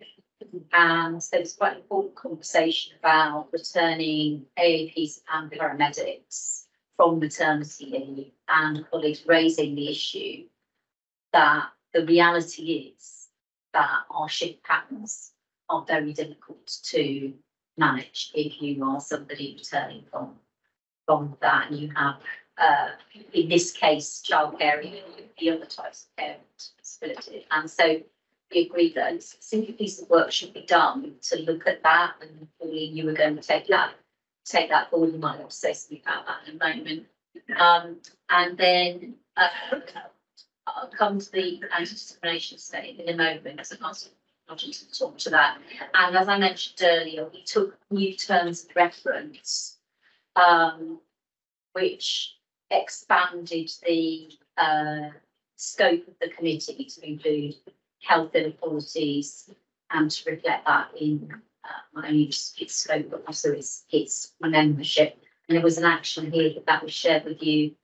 Obviously, you've, you, you, you, you've seen it. Well, is there anything you want to add to the Uh, well, just to follow on really, um, we've got some views about what we think the barriers are, but actually what we want to do is really just explore them uh, through the women's network um, and also through uh, with Carmen as she's starting to establish the um, BME uh, leaders uh, group, just to really understand what are the barriers. Because I think some of them are perceived in some of the language that puts people off replying. So they don't actually exist. It's just a sense or a feeling that I can't do that role because I have caring responsibilities. So um, we've committed to take back uh, where we've got to in terms of the work in July, um, and that's already established with Vanessa as our chair of the Women's Network. And then the last thing, um, which under my report is coming to this uh, committee um, consideration of the agreement is uh, the anti-discrimination statement, the anti-racism chart, which we discussed. If you want to just, Yes. it's appended to my report. Yes, they're both, they're both appended there. I think it was just by way of context, since this, since the uh, EDI committee started, we have tried to take a look at steps in a range of different areas that have been discussed in this meeting, including, for example, getting on top of our data, making sure that is more widely shared with the organisation, doing the work that we're doing on significant number inclusion work, work, um, workshops, uh, trying to be better at reasonable adjustments, looking at our interview processes to make sure they are more, uh, more environment independent, understanding why we've got more, um, people from black and ethnic minority backgrounds going into our disciplinary processes, etc. So that this is part of the package. But these, these two particular pieces are a build on something you've seen before. So the first, uh, and they're important symbols that we want to kind of share around the organisation and what we're about. Um, now we have already got the, the, the, the, first bit of the anti-discrimination thing, we already got, that's already published on our website. So this is a bit of an upgrade. It builds on that statement by adding in some statements about what we expect of individuals around the organisation and what we expect of our organisation. So it's a, it's a strengthening of the existing anti-discrimination statement. And our idea is that that will sit as, as the overarching thing, but underneath that, we may have a number of different charters. Obviously, as Damien mentioned, we've already got the um, sexual safety charter, which was launched two years ago. And we're now at- wanting to add to that uh, a specific charter on the topic of racism because it is such an important topic. Um, and again, uh, in the, on the anti-racism charter, it, it says something about our responsibilities in relation to that topic. And the words, I think, are self-explanatory and we're seeking the board support, uh, to take these statements statements forward and publish them and share them through the organisation. I had a question on that. Does that apply to third party suppliers? Um, Yes. but funnily enough, we, I don't know if we wanted to come in on that, but we, obviously, we do, we have said that we want to want to think carefully about the responsibilities we want to put on the suppliers uh, as part of, uh, you know, our work to make sure that everything we do contributes to the health of the public. Um, so Yeah, we could, we or- could, Or anyone we engaging, could consider that probably just need to be clear on thing. about when we say anyone engaging with LAS. Yeah. Is anyone also a Or you're obviously aware of recent high profile. Yeah. And then how do we communicate that to our suppliers if they were in scope and if they're not in scope? We probably need to be clear what that means. Ask them to sign a statement or something. Yeah. Solution. How does this? What's the fundamental difference with this statement that's been shot? Uh, so this, the statement is broader. Statement is about forms of discrimination, uh, so gender, disability. For example, uh, and this, and the other one's specifically about racism. A Specific one about safety and as well. Most of them are the same. Yeah. So we, you, I can see where you're thinking, needs to be clear about how they all fit together. Yeah. And you'll have to. Yeah, and, and then there's a style that shows an allotment of system. I'm trying to think, well, we've got some more to come, haven't we, to fit under this? I haven't made a reason that we could do that if, if, for example, uh, people wanted to consider that also. Yeah, I guess my uh, desire is always keep things simple. Yeah, you know, and, uh, that's what I like, my strategies, very. And I want to be able to, when we put things on walls or talk to people about things, be really clear about what is this saying. Why one thing is either building on or different to the other. Are we quite clear about that, are we? So, so, so we started with one on the sexual safety. That was the thing about three years ago. Then we ended up wanting to do one on racial discrimination. And then you get, well, the problem is that there's other forms of discrimination too. So I think you have to have an overall statement about discrimination that covers everything. But when you say it covers everything, then it isn't specific. And uh, there is also a requirement to be specific in certain areas. So I think you end up with needing an overarching statement and specific charters for different types of discrimination to keep everyone very clear in line about what we're trying to do. Otherwise, you just get into this debate which says you're being too specific here and you're being too general there. I think you need, yes, to have That, that's exactly is what the, feedback is on. So it does say, this aligns to the sexual safety chart, yeah, the racist, our value of seeing person, people speak up. Yeah, uh, so we all think this all fits together, yeah, Right. But we perhaps we could be clearer, but the theory is that it fits together. Yeah, and maybe, and then, so just even the presentation look. Yeah, I, different. I take that point. Uh, some of the topics, but again, I- perhaps we need to be random. Yeah, so, so just so it makes sense to me, when I, I- when I go to the bit, online, I mean, like, something you can say, this is it, it's really clear what we're trying to say to people. Yeah, but, um, A question, just to expand on Sheila's point, um, and suppliers, and how do we provide assurance to ourselves and to our organisation that we do have a system for holding suppliers to account. Because, I mean, there are fit and proper persons tests. And what applies to us should also apply to the people we work with and contract with. So, because we can't really have a double standard where we hold ourselves to one set of standards and then we don't hold our Yeah. people that we work So with. expecting our suppliers to be improving each of the areas, I think, remember, I mean, I think it depends on what sort of suppliers we're talking about. For example, if you were to go onto a framework, um, for cool down in the NHS, all of this is in there. You have to be pretty precise to get a framework for the NHS against all of these, these areas.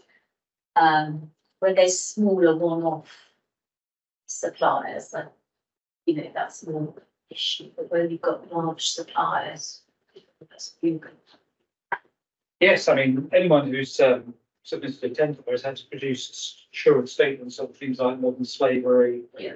Uh, carbon reduction, and usually there's something around promoting the quality there. we, we should we be monitoring the gender pay gap? Our suppliers, for example. That's us, uh, for, for, for frameworks, but I think check that, but I think there is a grey area. Are you doing one-off procurement, if that makes sense, for a smaller piece of work. But, but if it's an organisation this is important, then you can see why we have a larger consultancy for London and how we encourage change elsewhere. So nearly all our procurement we do through nationally agreed frameworks where all of this is set out and the suppliers have to conform to a whole heap of standards before you can get onto the framework. We do very little on framework procurement because Do we think the framework is good enough? Well, but basically that's not our choice, is it? Because they're normally government negotiated frameworks that you are working on. The biggest one is around commercial services. So uh, I, I, I kind of think there's, there's a limit to how far you can go as an individual organisation in this space. I, I guess my point was more about, you know, it's all very well to do it in frameworks, and I think that's fair and reasonable that suppliers will sign on to those frameworks and whatever the criteria are, but this is a, a, an extra thing we're doing here. And anybody who touches us should be aware that this charter exists. I guess that was my point. And I think we need to be clear about that. Or clearer perhaps than this charter indicates at the moment because that's a reinforcing message and it's over and above what I signed up to in framework. In my. And just one other small point, I mean, I just wondered whether signatures would be. It's, it's going to, you know, you're going to, Yes, subject to, subject to this conversation. Signatures, assuming that. signatures actually. So it's lovely to have this charter. Yeah, I was just puzzled. The first one didn't have anything, Yeah. any names on the second one did. It was just, Yeah. I suppose it's a style issue of what is it saying. Um, yeah. My mum was, I've got to be angry because. Yeah. Hmm. Right. Any more on that? Right, yeah, you're right. I think.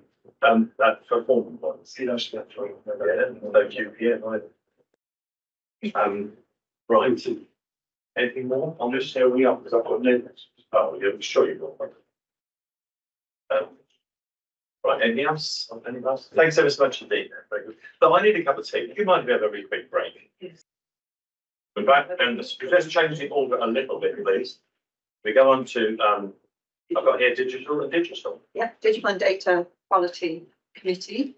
Um, so my report, um, I'll take it as read, um, but I just will draw out a couple of things. Um, first one, we referenced it already earlier in the meeting, is, um, the report we received on the, uh, changing out of the dynamic allocation of call signs when booking resources onto shifts to actually more aligning with the national standard in most other ambulance trusts, which is to use the, uh, allocate the call sign to the actual vehicle itself.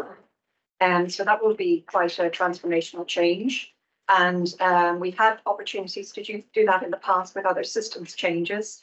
but we haven't been able to achieve it. So this time, um, the exec has made the decision aligned with the chief digital officer's strategy to standardize on processes rather than bespoking our IT systems to uh, look at a standard method, which would mean that we will need to unravel some of the changes that have been made to some of our existing systems, the scheduling tool, the airwaves tool, the um, computer aided dispatch tool. So the next step on this is to produce a report that outlines, you know, what's involved, what the impact will be on our processes, our people, and our, our technology systems. And my understanding is that that will come back to the Digital and Data Quality Committee, possibly in the May timeframe, Daniel, I think, depending on how soon uh, that work can be done. So I think that's a very significant change, uh, but a very positive one because it will allow us in the future to take advantage of national solutions. Whereas at the moment, our strategy has somewhat been we take part of the solution, but then we look for some changes to that solution to fit with our way of working. So this is quite a departure, but in a positive way. So I think quite a bit of work to be done to get us to that point, but I think it would be very useful. Hence the question around the scheduling system, because I think we need to understand what the process changes are here and then link that to the scheduling system. Um, the other thing, just to say, we, we reviewed uh, two reports uh, on data quality. One was on the computer aided dispatch system. And then we also received a report on um, three metrics that are very important metrics supporting the business intelligence report, some of which we receive here, such as hear and treat uh, percentage rates. Um, I won't go through the details on those, but just to say that um, it, it, they were very detailed reports. Um, a lot of effort has gone in from the data quality team to produce those reports and do the analysis, and I think really represents a very strong capability we have in that team. Um, what did emerge was in terms of um, assurance that on the substantive areas of insurance, such as uh, assurance, such as the validity of the data, the completeness of the data, particularly in CAD, that assurance was quite strong. So significant improvements or significant assurance with minor improvements. However, one big theme that emerged from both reports was that there's still quite a bit of work to be done around improving our processes. So that would be things like, do we have the right change control procedures in place when we make changes to systems so we understand the impact on our data? Uh, there are some challenges around data entry at the point of um, the actual entry point for that data and it causing errors later on in, in and those having to be resolved further in the system. Uh, there are issues around documentation not being up to date uh, issues around making sure that when we do change a system and we understand the data flows, that we're reflecting that in our training materials. So a lot of really good uh, insights that emerge from it. And uh, in the CAD report in particular, I didn't mention this in my report, but there are 17 um, actions that have been identified or recommendations, of which 10 were deemed to be of uh, high, high impact. So the team is putting together a, an action plan to address those. Now, I think this links back to the Veritas C1 report that we received and the need for us to continue to remain vigilant around these deep dives into various systems, surfacing gaps we see, and then being able to make the link between those gaps and changes we need to make in terms of our data processes and also changes we need to make in terms of our governance arrangements around those data processes. Um, and I think that's also critically important, particularly if we think about the strategic use of data that we discussed earlier we've got to get it right at the source. We've got to make sure that it remains um, um, the single source of the truth as we go through the various systems. So I think that's what we're uncovering with uh, some of this work.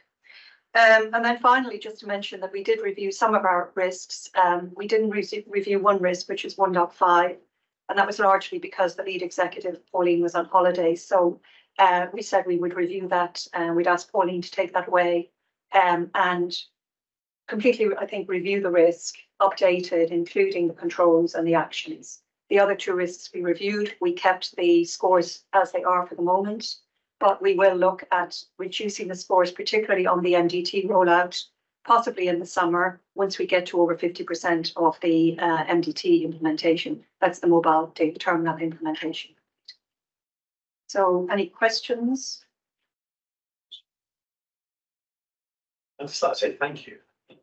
I mean, it's a densely challenging set of papers sometimes. it? They are. Um, Very detailed. It's, Um, I mean, it really is very, very technical, some of it, and I think that was re- well done for, for doing this. Sheila. Thank you, it's an awful lot here, and it is Michael Sheila. Just to add to that, I wasn't able to join the um, subcommittee because I wasn't very well, but I did go through the papers, so I agree with what you said. I think it is very technical at points. As a clinician, I think what what's useful is always to ask the so what question. So, you know, what are the implications of what we're trying to do here in terms of data quality, data entry? And I suppose that's where we need the clinical voices and the clinical leadership, you know, Pauline, Fenella, and others, and our CCIO to really be an active part of this and taking this forward so that we understand the clinical risks around the gap and particularly the back risks around data, the three back risks. And then we're actually, actually able to articulate the clinical impact of those risks really clearly.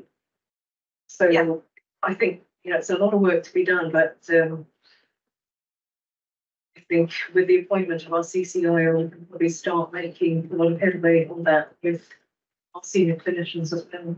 Yeah, and, and Cheryl had a good, a good, um, advice this morning when she and I caught up, but just, because the report at the moment, um, it highlights, you know, the gaps in processes and the gaps in controls, etc. but it- we think it'd be also helpful to have a, a column that talks to any clinical impact on that, which I think would complete the report, so it's something I'll feed back through you, Pauline, in terms of your team and the work they do in producing those reports, because we're in, it's an early, it's an early piece of work, and the next report will be on the electronic patient care record system.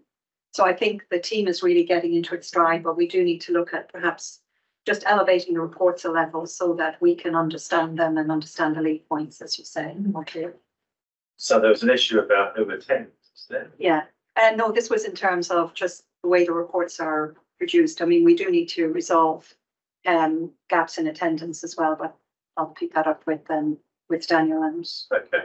um you and I All right. discussed. No, again, I'm, I'm very grateful, Sheila, but it's taken nothing else. Go on, we'll go back to, um, finance. Thanks. So, so my finance director will just go through the headlines of the various stats of all of them are evening. So, uh, first part of the report, uh, looks at the period end of, no, January, so not the eleventh. Uh, we'll be posting a small surplus, uh, from the. Forecast to break even in the year, um, the year ends in three days' time. So we really, uh, we're busy gearing up the year end capital program. And we're, we're on track to deliver, spend thirty million pounds. We did actually get, uh, more capital towards the end of the year. It was spent as well, so the thirty million pounds. The other areas within strategic assets, that's a fleet. The investment we made around, uh, ordering and twenty-nine odd double crewed ambulances. That has now resulted in, we've now increased our fleet by uh fifty, by thirty, five acres. So they- Those ambulances are now being rolled out to um uh stations, operational use. Uh, and we're now looking to decommission all. Non-compartment vessels. Um, and also reviewing whether or not we need, we need to increase our fleet further still. next. And you can see rolled out more hybrid and uh electric, cars as well. We've used the the capital money you've got here to um see the into detail, the the stuff we've done around the environment and having stations and uh, um. Upgrading ambulance stations and increasing the size. So we now occupy the one half of the full full uh, new and off site. So that's now ready to go. One part of it now, all three was we can use. And another element will now be ready in the next few weeks for more educational facilities and meeting rooms and and um. And in this space.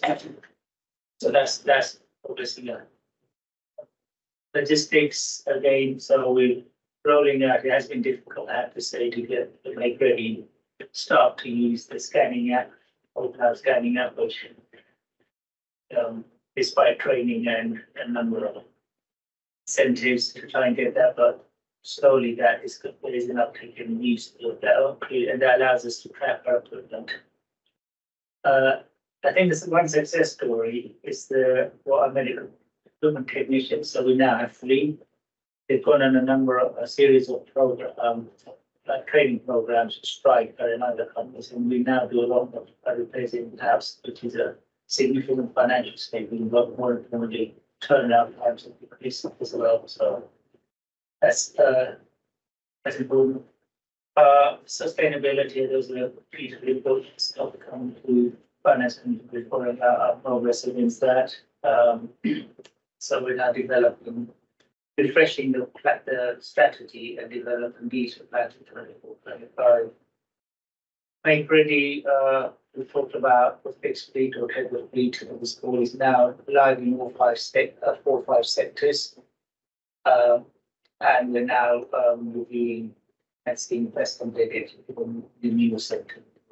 Uh, and importantly, uh, our make ready uh, staff will be transitioning to the check years available. So work with the Danish payroll team, that's what as well. So that's assuming use of work. Suppose. Any questions for, for, okay? No. No, thank you. Thank you. So Bob is, is, um, is up with, uh, uh, uh, Rommel, are you reporting on any of Bob, Bob's reports?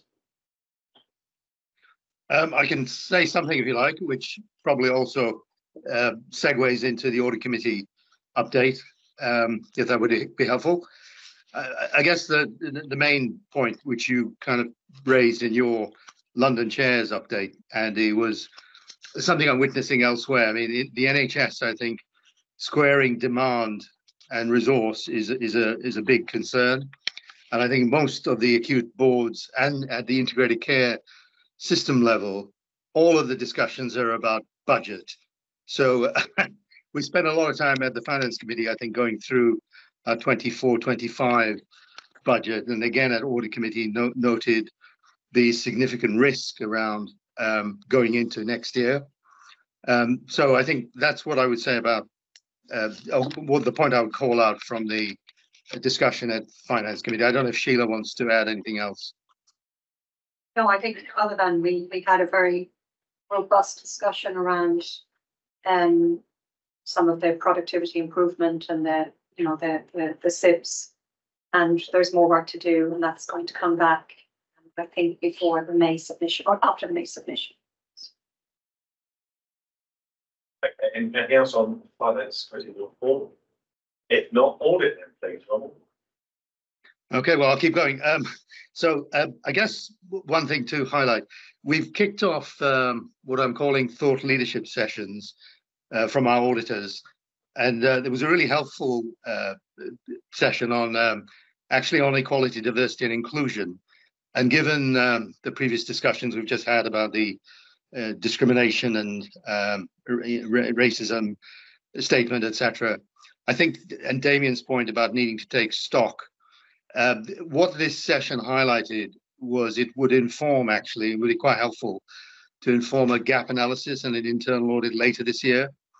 So I was going to suggest, um, Roger, as you firm up the scope of the internal audit, um, that I think um, Anne has a good look look at that, and and it may help the work you're doing, Anne, in the in the EDI committee. So just just to highlight that as a point of uh, taking forward. And um, I guess also to note that um, given the importance of value for money, one of the other things we've asked for from the external auditors at our next session, and I'm sort of mentioning this to the board, so if if people are interested, you- you're all welcome to attend. It's only half an hour.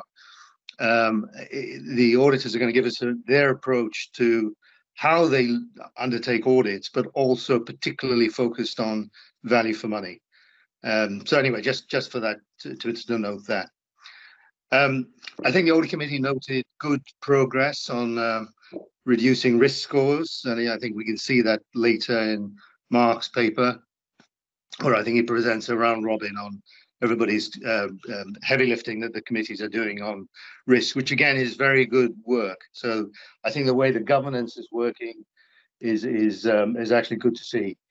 Um, and then looking ahead, I mean, I've already picked out the significant 24, 25 financial risks, but I think just a comment on, I guess, some of the short and medium term pressures that the organization is facing, both in terms of finances, but also performance. Um, and to note that frontline operations in particular are all embarked on major change. So the EOC, the 111 ambulance ops, um, the narrow onboarding, you know, resilience special assets, the South Ambulance collaboration that we talked about earlier, and some of the work that Sheila has been looking at and through her committee, lots of IT change. So there's just a, a, a bit of a caution there to watch the kind of aggregation risk around all of that stuff that's going on um, with everything else that's also going on externally that we can't control. Uh, so I think audit committee was just noting that. Um, we, we, we take our usual update on cyber security and what is our stance, which um, you know will remain an ongoing threat. Um, and I noticed, I note that the NHS is continually under threat from the Russians in particular, but other state um, sponsors, shall we say. So um, that that will continue to remain on our radar. Um, and there's there's an update on information governance, which links back to, you know, the the, the protection of data, which I think Mark will pick up in his report. But we have a general update from Mark as the CSIRO uh, at every audit committee. Um, and then just in terms of um, some of the issues that have hit the NHS, but obviously you're all aware of the Lucy Letby situation and how freedom to speak up has come to be a real uh, point of discussion at boards. Um, so it was good to know that we took uh, we the internal audit uh, reported findings on the freedom to speak up arrangements as being actually quite good. Um, it's a good assurance on both design and effectiveness. And uh, we also looked at uh, the need to perhaps complement some of our internal audit program with um, deep dives. Uh, so Rakesh and the team are looking at maybe, for example, we may want to look at make ready as, as one of the areas just to give us some more assurance on. Excuse me.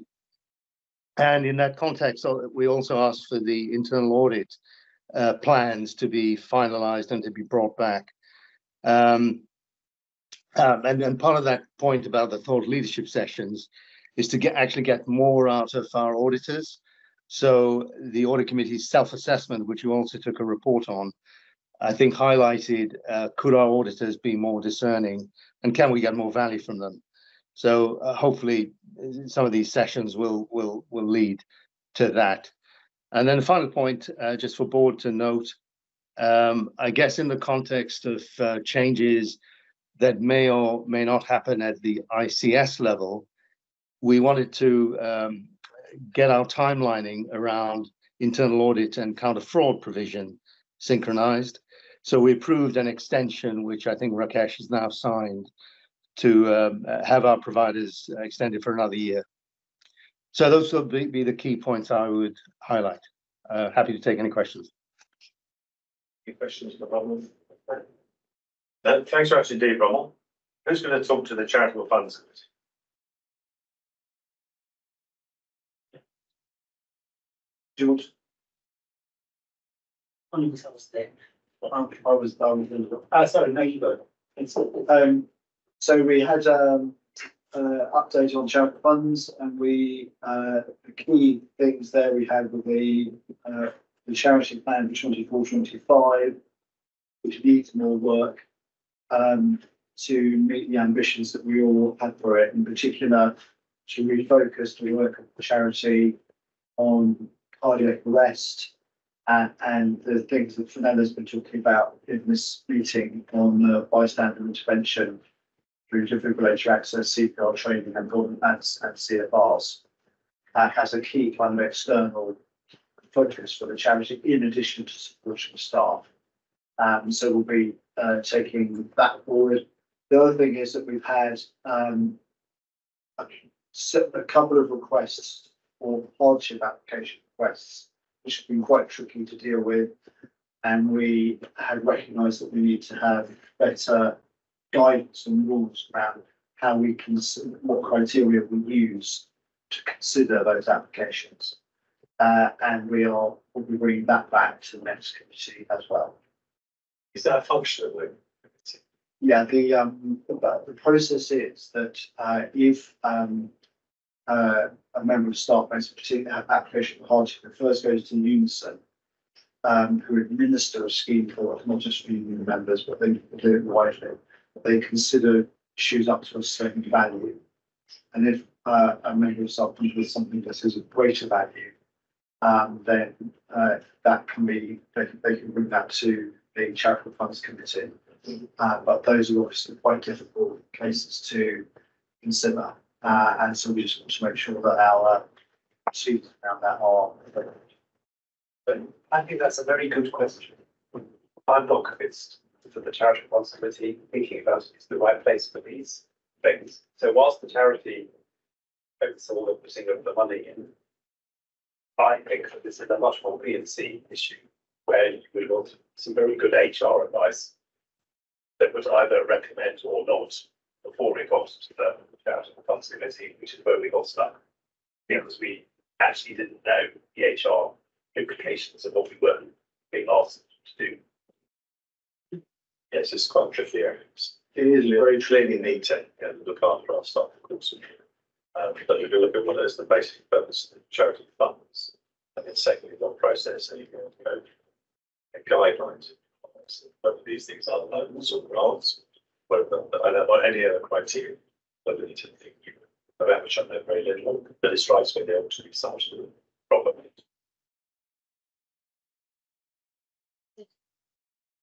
There, there will be times when it's, it's quite urgent, and so actually, you know, the process needs to be at least. Um, go through as as fast as possible, so, so we're not adding to the stress of, uh, Yeah, that's a very good point for some, but obviously we want to be compassionate with employers, but there's a finite method, I think, we need to Yeah. ensure that the process. Let's be consistent and fair, sometimes speed doesn't allow it to be consistent and fair. So however does it, we need some sort of rules and so looking after our staff and looking. We certainly do, and, um, um, not more than one is in the championship, I'm very, very pleased, I have to say. Any, anything more on the charity committee?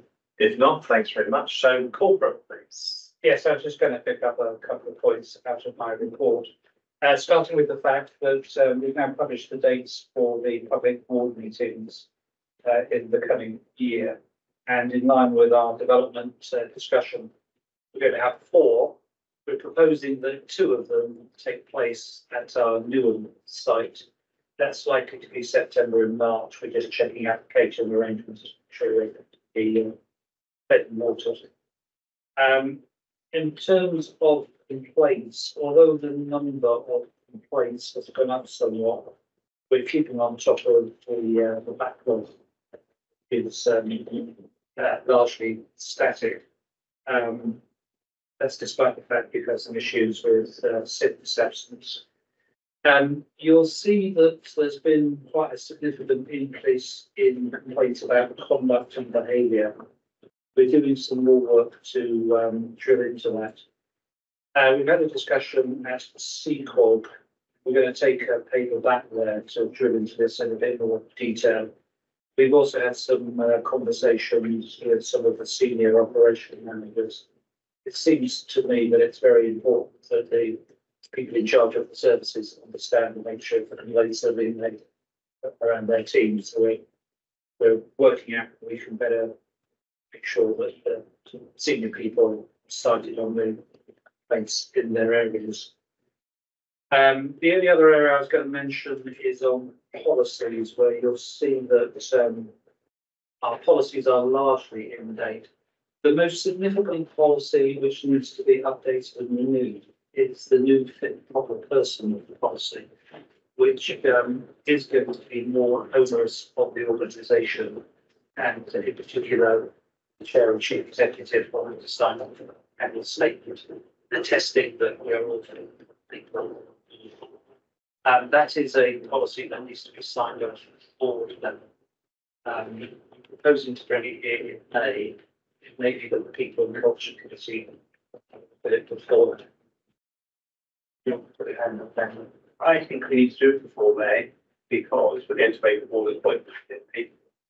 And I think it says board appointments of April have to comply with their new. policy.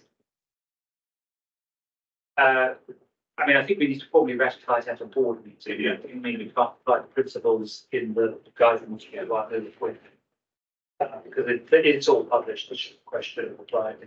So I think the manager. Um, Rob did mention, um, information governance, so I probably should just say that I personally reasonably well assured that we're on target for DSPT. Uh, and you'll see that, uh, I think we're on top of, um, when we do have data breaches, a pretty robust system. We Categorize them and identify the ones that need to be reported to the information commissioner. I think we've now got a pretty good relationship with the information commissioner, and usually once we brief them on our, our case, they're they're satisfied with the action that we've taken. We started doing some benchmarking with other organisations to understand the to other organisations. I guess the very final thing I should mention is the conversation we had at lunchtime, uh, Andy, where we were talking about, um, uh, a proposal to tweak the terms of reference to our board committees. At the moment, there are four, just one NED. I think the suggestion is that's a bit thin. Most of our committees have two or three NEDs on them anyways. We should probably adjust the terms of reference to the four C two NEDs, the chair plus one. Seems to me to be sensible. They had a conversation at the EDI committee that that would need to be specific about the next Yes. um capability that they're be- because of the fact that we've got to cover workforce and There was um an issue um observing digital. Um, as she was on the road, and I think. Um, that- that's quite difficult. Yeah. To to chair and to to marshal the questions. Yeah. But if anything else, so I happen to be there, but I'm not, I'm deliberately not a member of any, of the I'm not allowed to. But I will do it from time to time. But um, so there was an issue there, I think, around the administration. So who then tells the the chair that heads uh, can't make it? Uh, And then over to the chair of any committee to say whether or not you want to continue. And that's, then, then, then that's your call. I mean, chorusing would relate to sort of decisions, won't it? But I think, I think the point that you're making at lunchtime, it might also relate to sort of things around back, which actually aren't our decisions, aren't they? And, you know, and then the committee's making a decision. It's, it's got to be something which is, which is, which is an official decision. So it's really a matter of, with, from the administration side, letting people know who is there and then having a discussion with the chair to say, do you want to go? Do you want to carry on? Do you want to? Something that might be don't find yourself something removed. Yeah, it's an unusual event not to, not to be bought, not to have, well, I mean, We, we, we had an independent member present, but that independent member had to leave early, yeah, so. I'm not talking about the specific, I'm oh. just saying in general, we don't. I, I had, I, I haven't got the numbers, but there's been a couple of times when someone says, oh, Andy's here. You know, and we've got, That's okay. yeah, It's but not- we I happened to have dropped in just to, to have a listen, so. Anyway, it's just about, it's, it's not a big thing, it's about timing it up so that I thought you did, you did a great job in a difficult situation. I would find it difficult chairing meeting and asking the questions. And the point being, if you make a decision, is that a valid decision? And that- uh, it's not for the chair that would be negotiating other things and members. Or, or executives for that matter, through attendance. Good, You both. right, any questions? Sorry. question about the increased inquests. Yes, Strongly think that it's quite distinctive. Which ones? So Increased inquests. if you look at the graph on inquest, you'll see there's been significant step change in twenty twenty-three.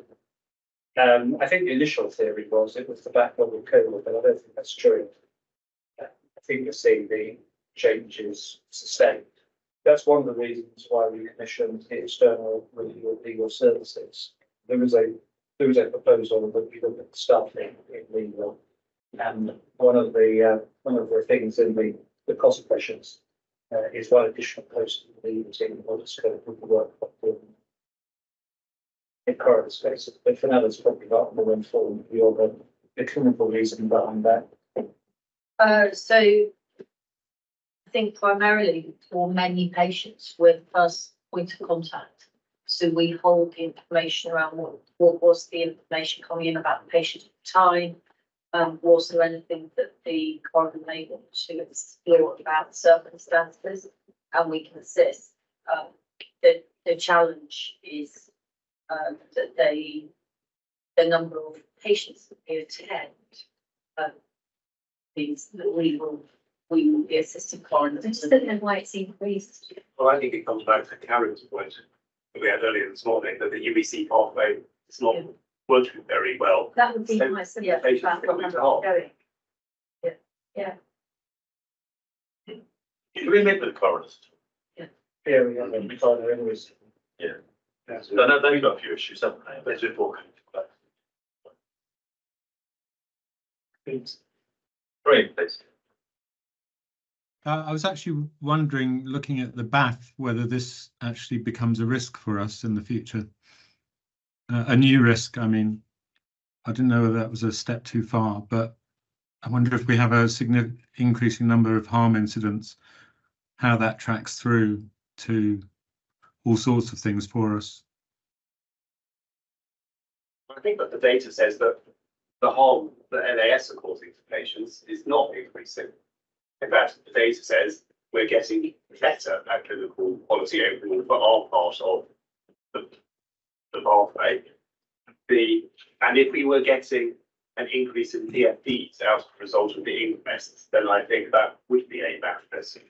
But we're, I think we're also being quite exemplary currently in managing some really quite complicated inquests by being really clear when we haven't got something right and what we have done to fix it. So, right, doesn't, I mean, we can take it away, but intuitively, it doesn't feel to me like that is a specific factor. Well, I draw a distinction between coroner's issue and the clinical quality issue, because clinical quality certainly is important. And we've got two entries there which are about our performance, about our, our quality standards, about our performance against heart attack and stroke. I mean, I think taking, I'm not quite sure how you frame all this for coroners cases. It would be a strange processing time, this I think, rather than one which is actually based in clinical evidence. If we did, I mean, is this something quality, just to think about?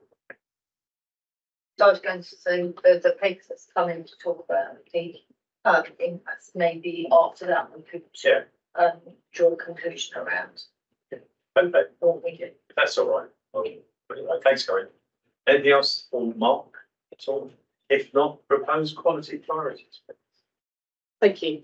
Uh, so uh, in the paper and the attachment, you will see the proposed priorities, uh, quality priorities for 2024-25 and focused on four themes for next year, uh, improving efficiency, feedback and learning, reducing delays and improving outcomes. The paper also shows the previous routing uh, of this paper, so and discussions that's been through the clinical quality oversight group and the quality assurance committee. Uh, and also includes the eleven KPIs that will sit under those four themes. I'm happy to expand further or take as read. Um, answer any questions. The paper's here for approval. Questions for Pauline and Ronald, please. I had one, uh, Pauline, uh, or I guess two, sorry. Uh, So I guess first point, um, the read across between our quality priorities and what's come out of the McKinsey report, specifically when we're th- talking about improving efficiency, I don't know if that's been done. And the second question I had was, um, again, in the improving efficiency theme, is reducing out of service by two percent uh, challenging enough? So two questions. So, so, so if I take the first, the first question, um, yes, it has been done, uh, in conjunction, uh, with the McKinsey work. Um, and the two percent actually came from the McKinsey work. Um, and, and whilst, um, two percent, it doesn't look very big. We asked exactly the same question, it's like, Uh, it, it is quite, Hmm? It's likely to extend, it's like two over twenty. yeah, it is actually quite a, a challenging uh, target. But, but I think that, oh, Gordon Ron will point out, this whole ta, this whole paper needs to be rewritten in plain English. Yeah. Because there is no way we can take this to the opera, operating platform next year written like this. It, it is not comprehensive. So, um, and then we could actually explain what we actually meant by reducing our service by two percent so that it wasn't. But nearly every line requires a rethink, and yeah, how we've described it.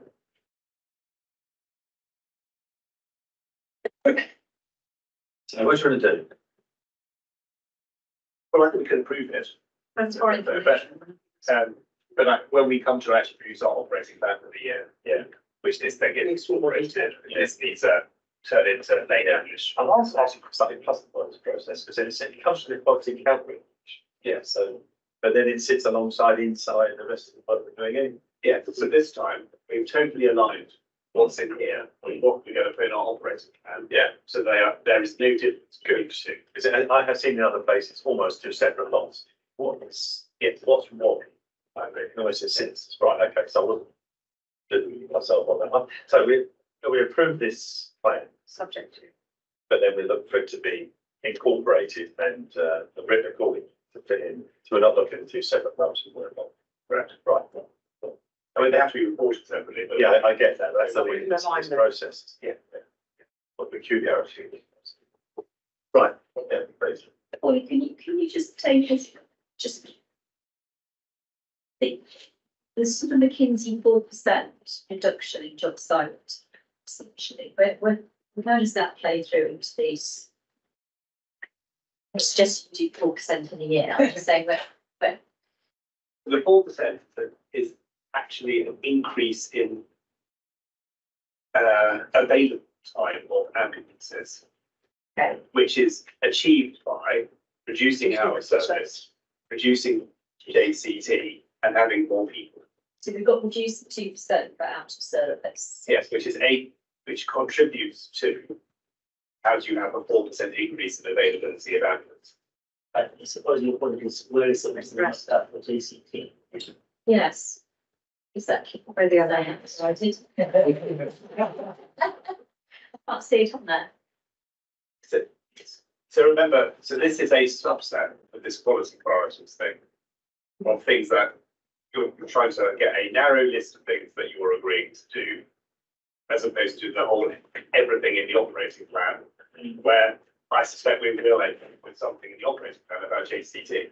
Well, I was just building on our conversation last time, which was we're spending potentially too long with patients where actually the right thing to do from a quality perspective is just to convey them.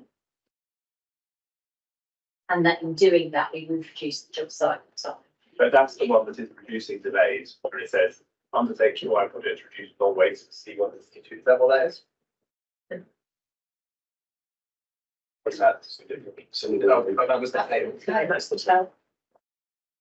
So it's not specifically called out around the impact of the on-scene time for those patients that we're going to convey. if you look at our job completion time, and it's the increase of so. Increase our time spent patients, being nice, that's what it's, two things are linked I together. that was the big takeaway. Yeah. from, uh, Um. One takeaway is. To increase our productivity by. It's clear that the patient is going to. be more efficient with the decisions to convey. It's, it's a win-win, you know, it's better patient experience and outcomes as they get there quicker. Better for our productivity, I'm just thinking. It's worth thinking about this. Um, I thought of stop it, or the reducing delays to two less than thirty-seven and the long term. But it's not explicitly drawn out in, in that table, so we can make it. So we look forward to this being incorporated into your operating plan. Um, and capture the points that have been made, yeah. And, and where possible linked to the financial requirements and pressures we have um, for FY twenty-five. Yes. So I think we need to just make that link explicit across all three. Well, with, when the team doing this, they're absolutely clear that none of these things are cost pressures that we have given ourselves. They're all things that we need to do to deliver the financial Existing, anyhow. yeah. Because there's also a big data in this that you agree a whole heap on. Mm-hmm. things that massively improve quality, good, but cost you lots of money, Yeah.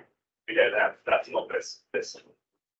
Right, so, so, we agree with paper? So, suppose. Good, well, done. thank you, Mark, over to you.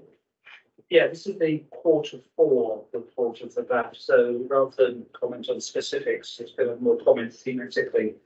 Um, I suppose if I was trying to um, uh, describe our uh, BAF to auditors, I would say we were able to demonstrate a number of things. First of all, the link to our business plans. Secondly, that for the majority of risks, we can demonstrate progress through the year, of those risks, particularly in recent months, have been some quite significant reductions in risk scores. Um, thirdly, um, we can demonstrate that as new risks emerge in the year, we add them. And uh, I guess finally, we could demonstrate that as risks are resolved, we- we've them off as one or two. I always think it's interesting to reflect on the risks where the score hasn't changed over the course of the year. Whether that's because we're dealing with some kind of entrenched problem. Um, or there's some other reason why we've not been able to make uh, progress in reducing scores. Um, because this is the core of four position, we'll now be refreshing this for see in May to take account of the, the new business plan. So I'm sure many of the risks will be the same, but we'll be judging it against the new business plan and seeing if there's new things that, that need to be put in. Fine. Any questions for Mark? If not, thanks very much indeed. Thank you for that. So we now move on to any other business. Is there any other business? Rommel, please. Uh, uh, no, sorry, my hand was up for the previous item, Andy. I'm sorry. I, I was just going to say, uh, I mean, I think to, to note, um, in the context of other boards I sit on, I think the BAF and the way it works at LAS is actually very good. So I just wanted to thank Mark and the rest of the exec for the good work that, that they, they do there. Thank you. Yes, and also our congratulations. Thanks to everyone involved in that. Any other business? Around the room. Right, any, um, da, you think I did? Well, I don't know, you, you sort of, I thought you were about to say something then. I was about to say, well done for chairing the meeting. Well, that's an excellent point. Thank you. Thanks very much for the arrangements for today. Well done. Thank you very much. indeed. So, if there's nothing, we have no questions from the public. No questions. Good, right, we'll meet you then. Thanks very much. Thank you. Thank you. Very good.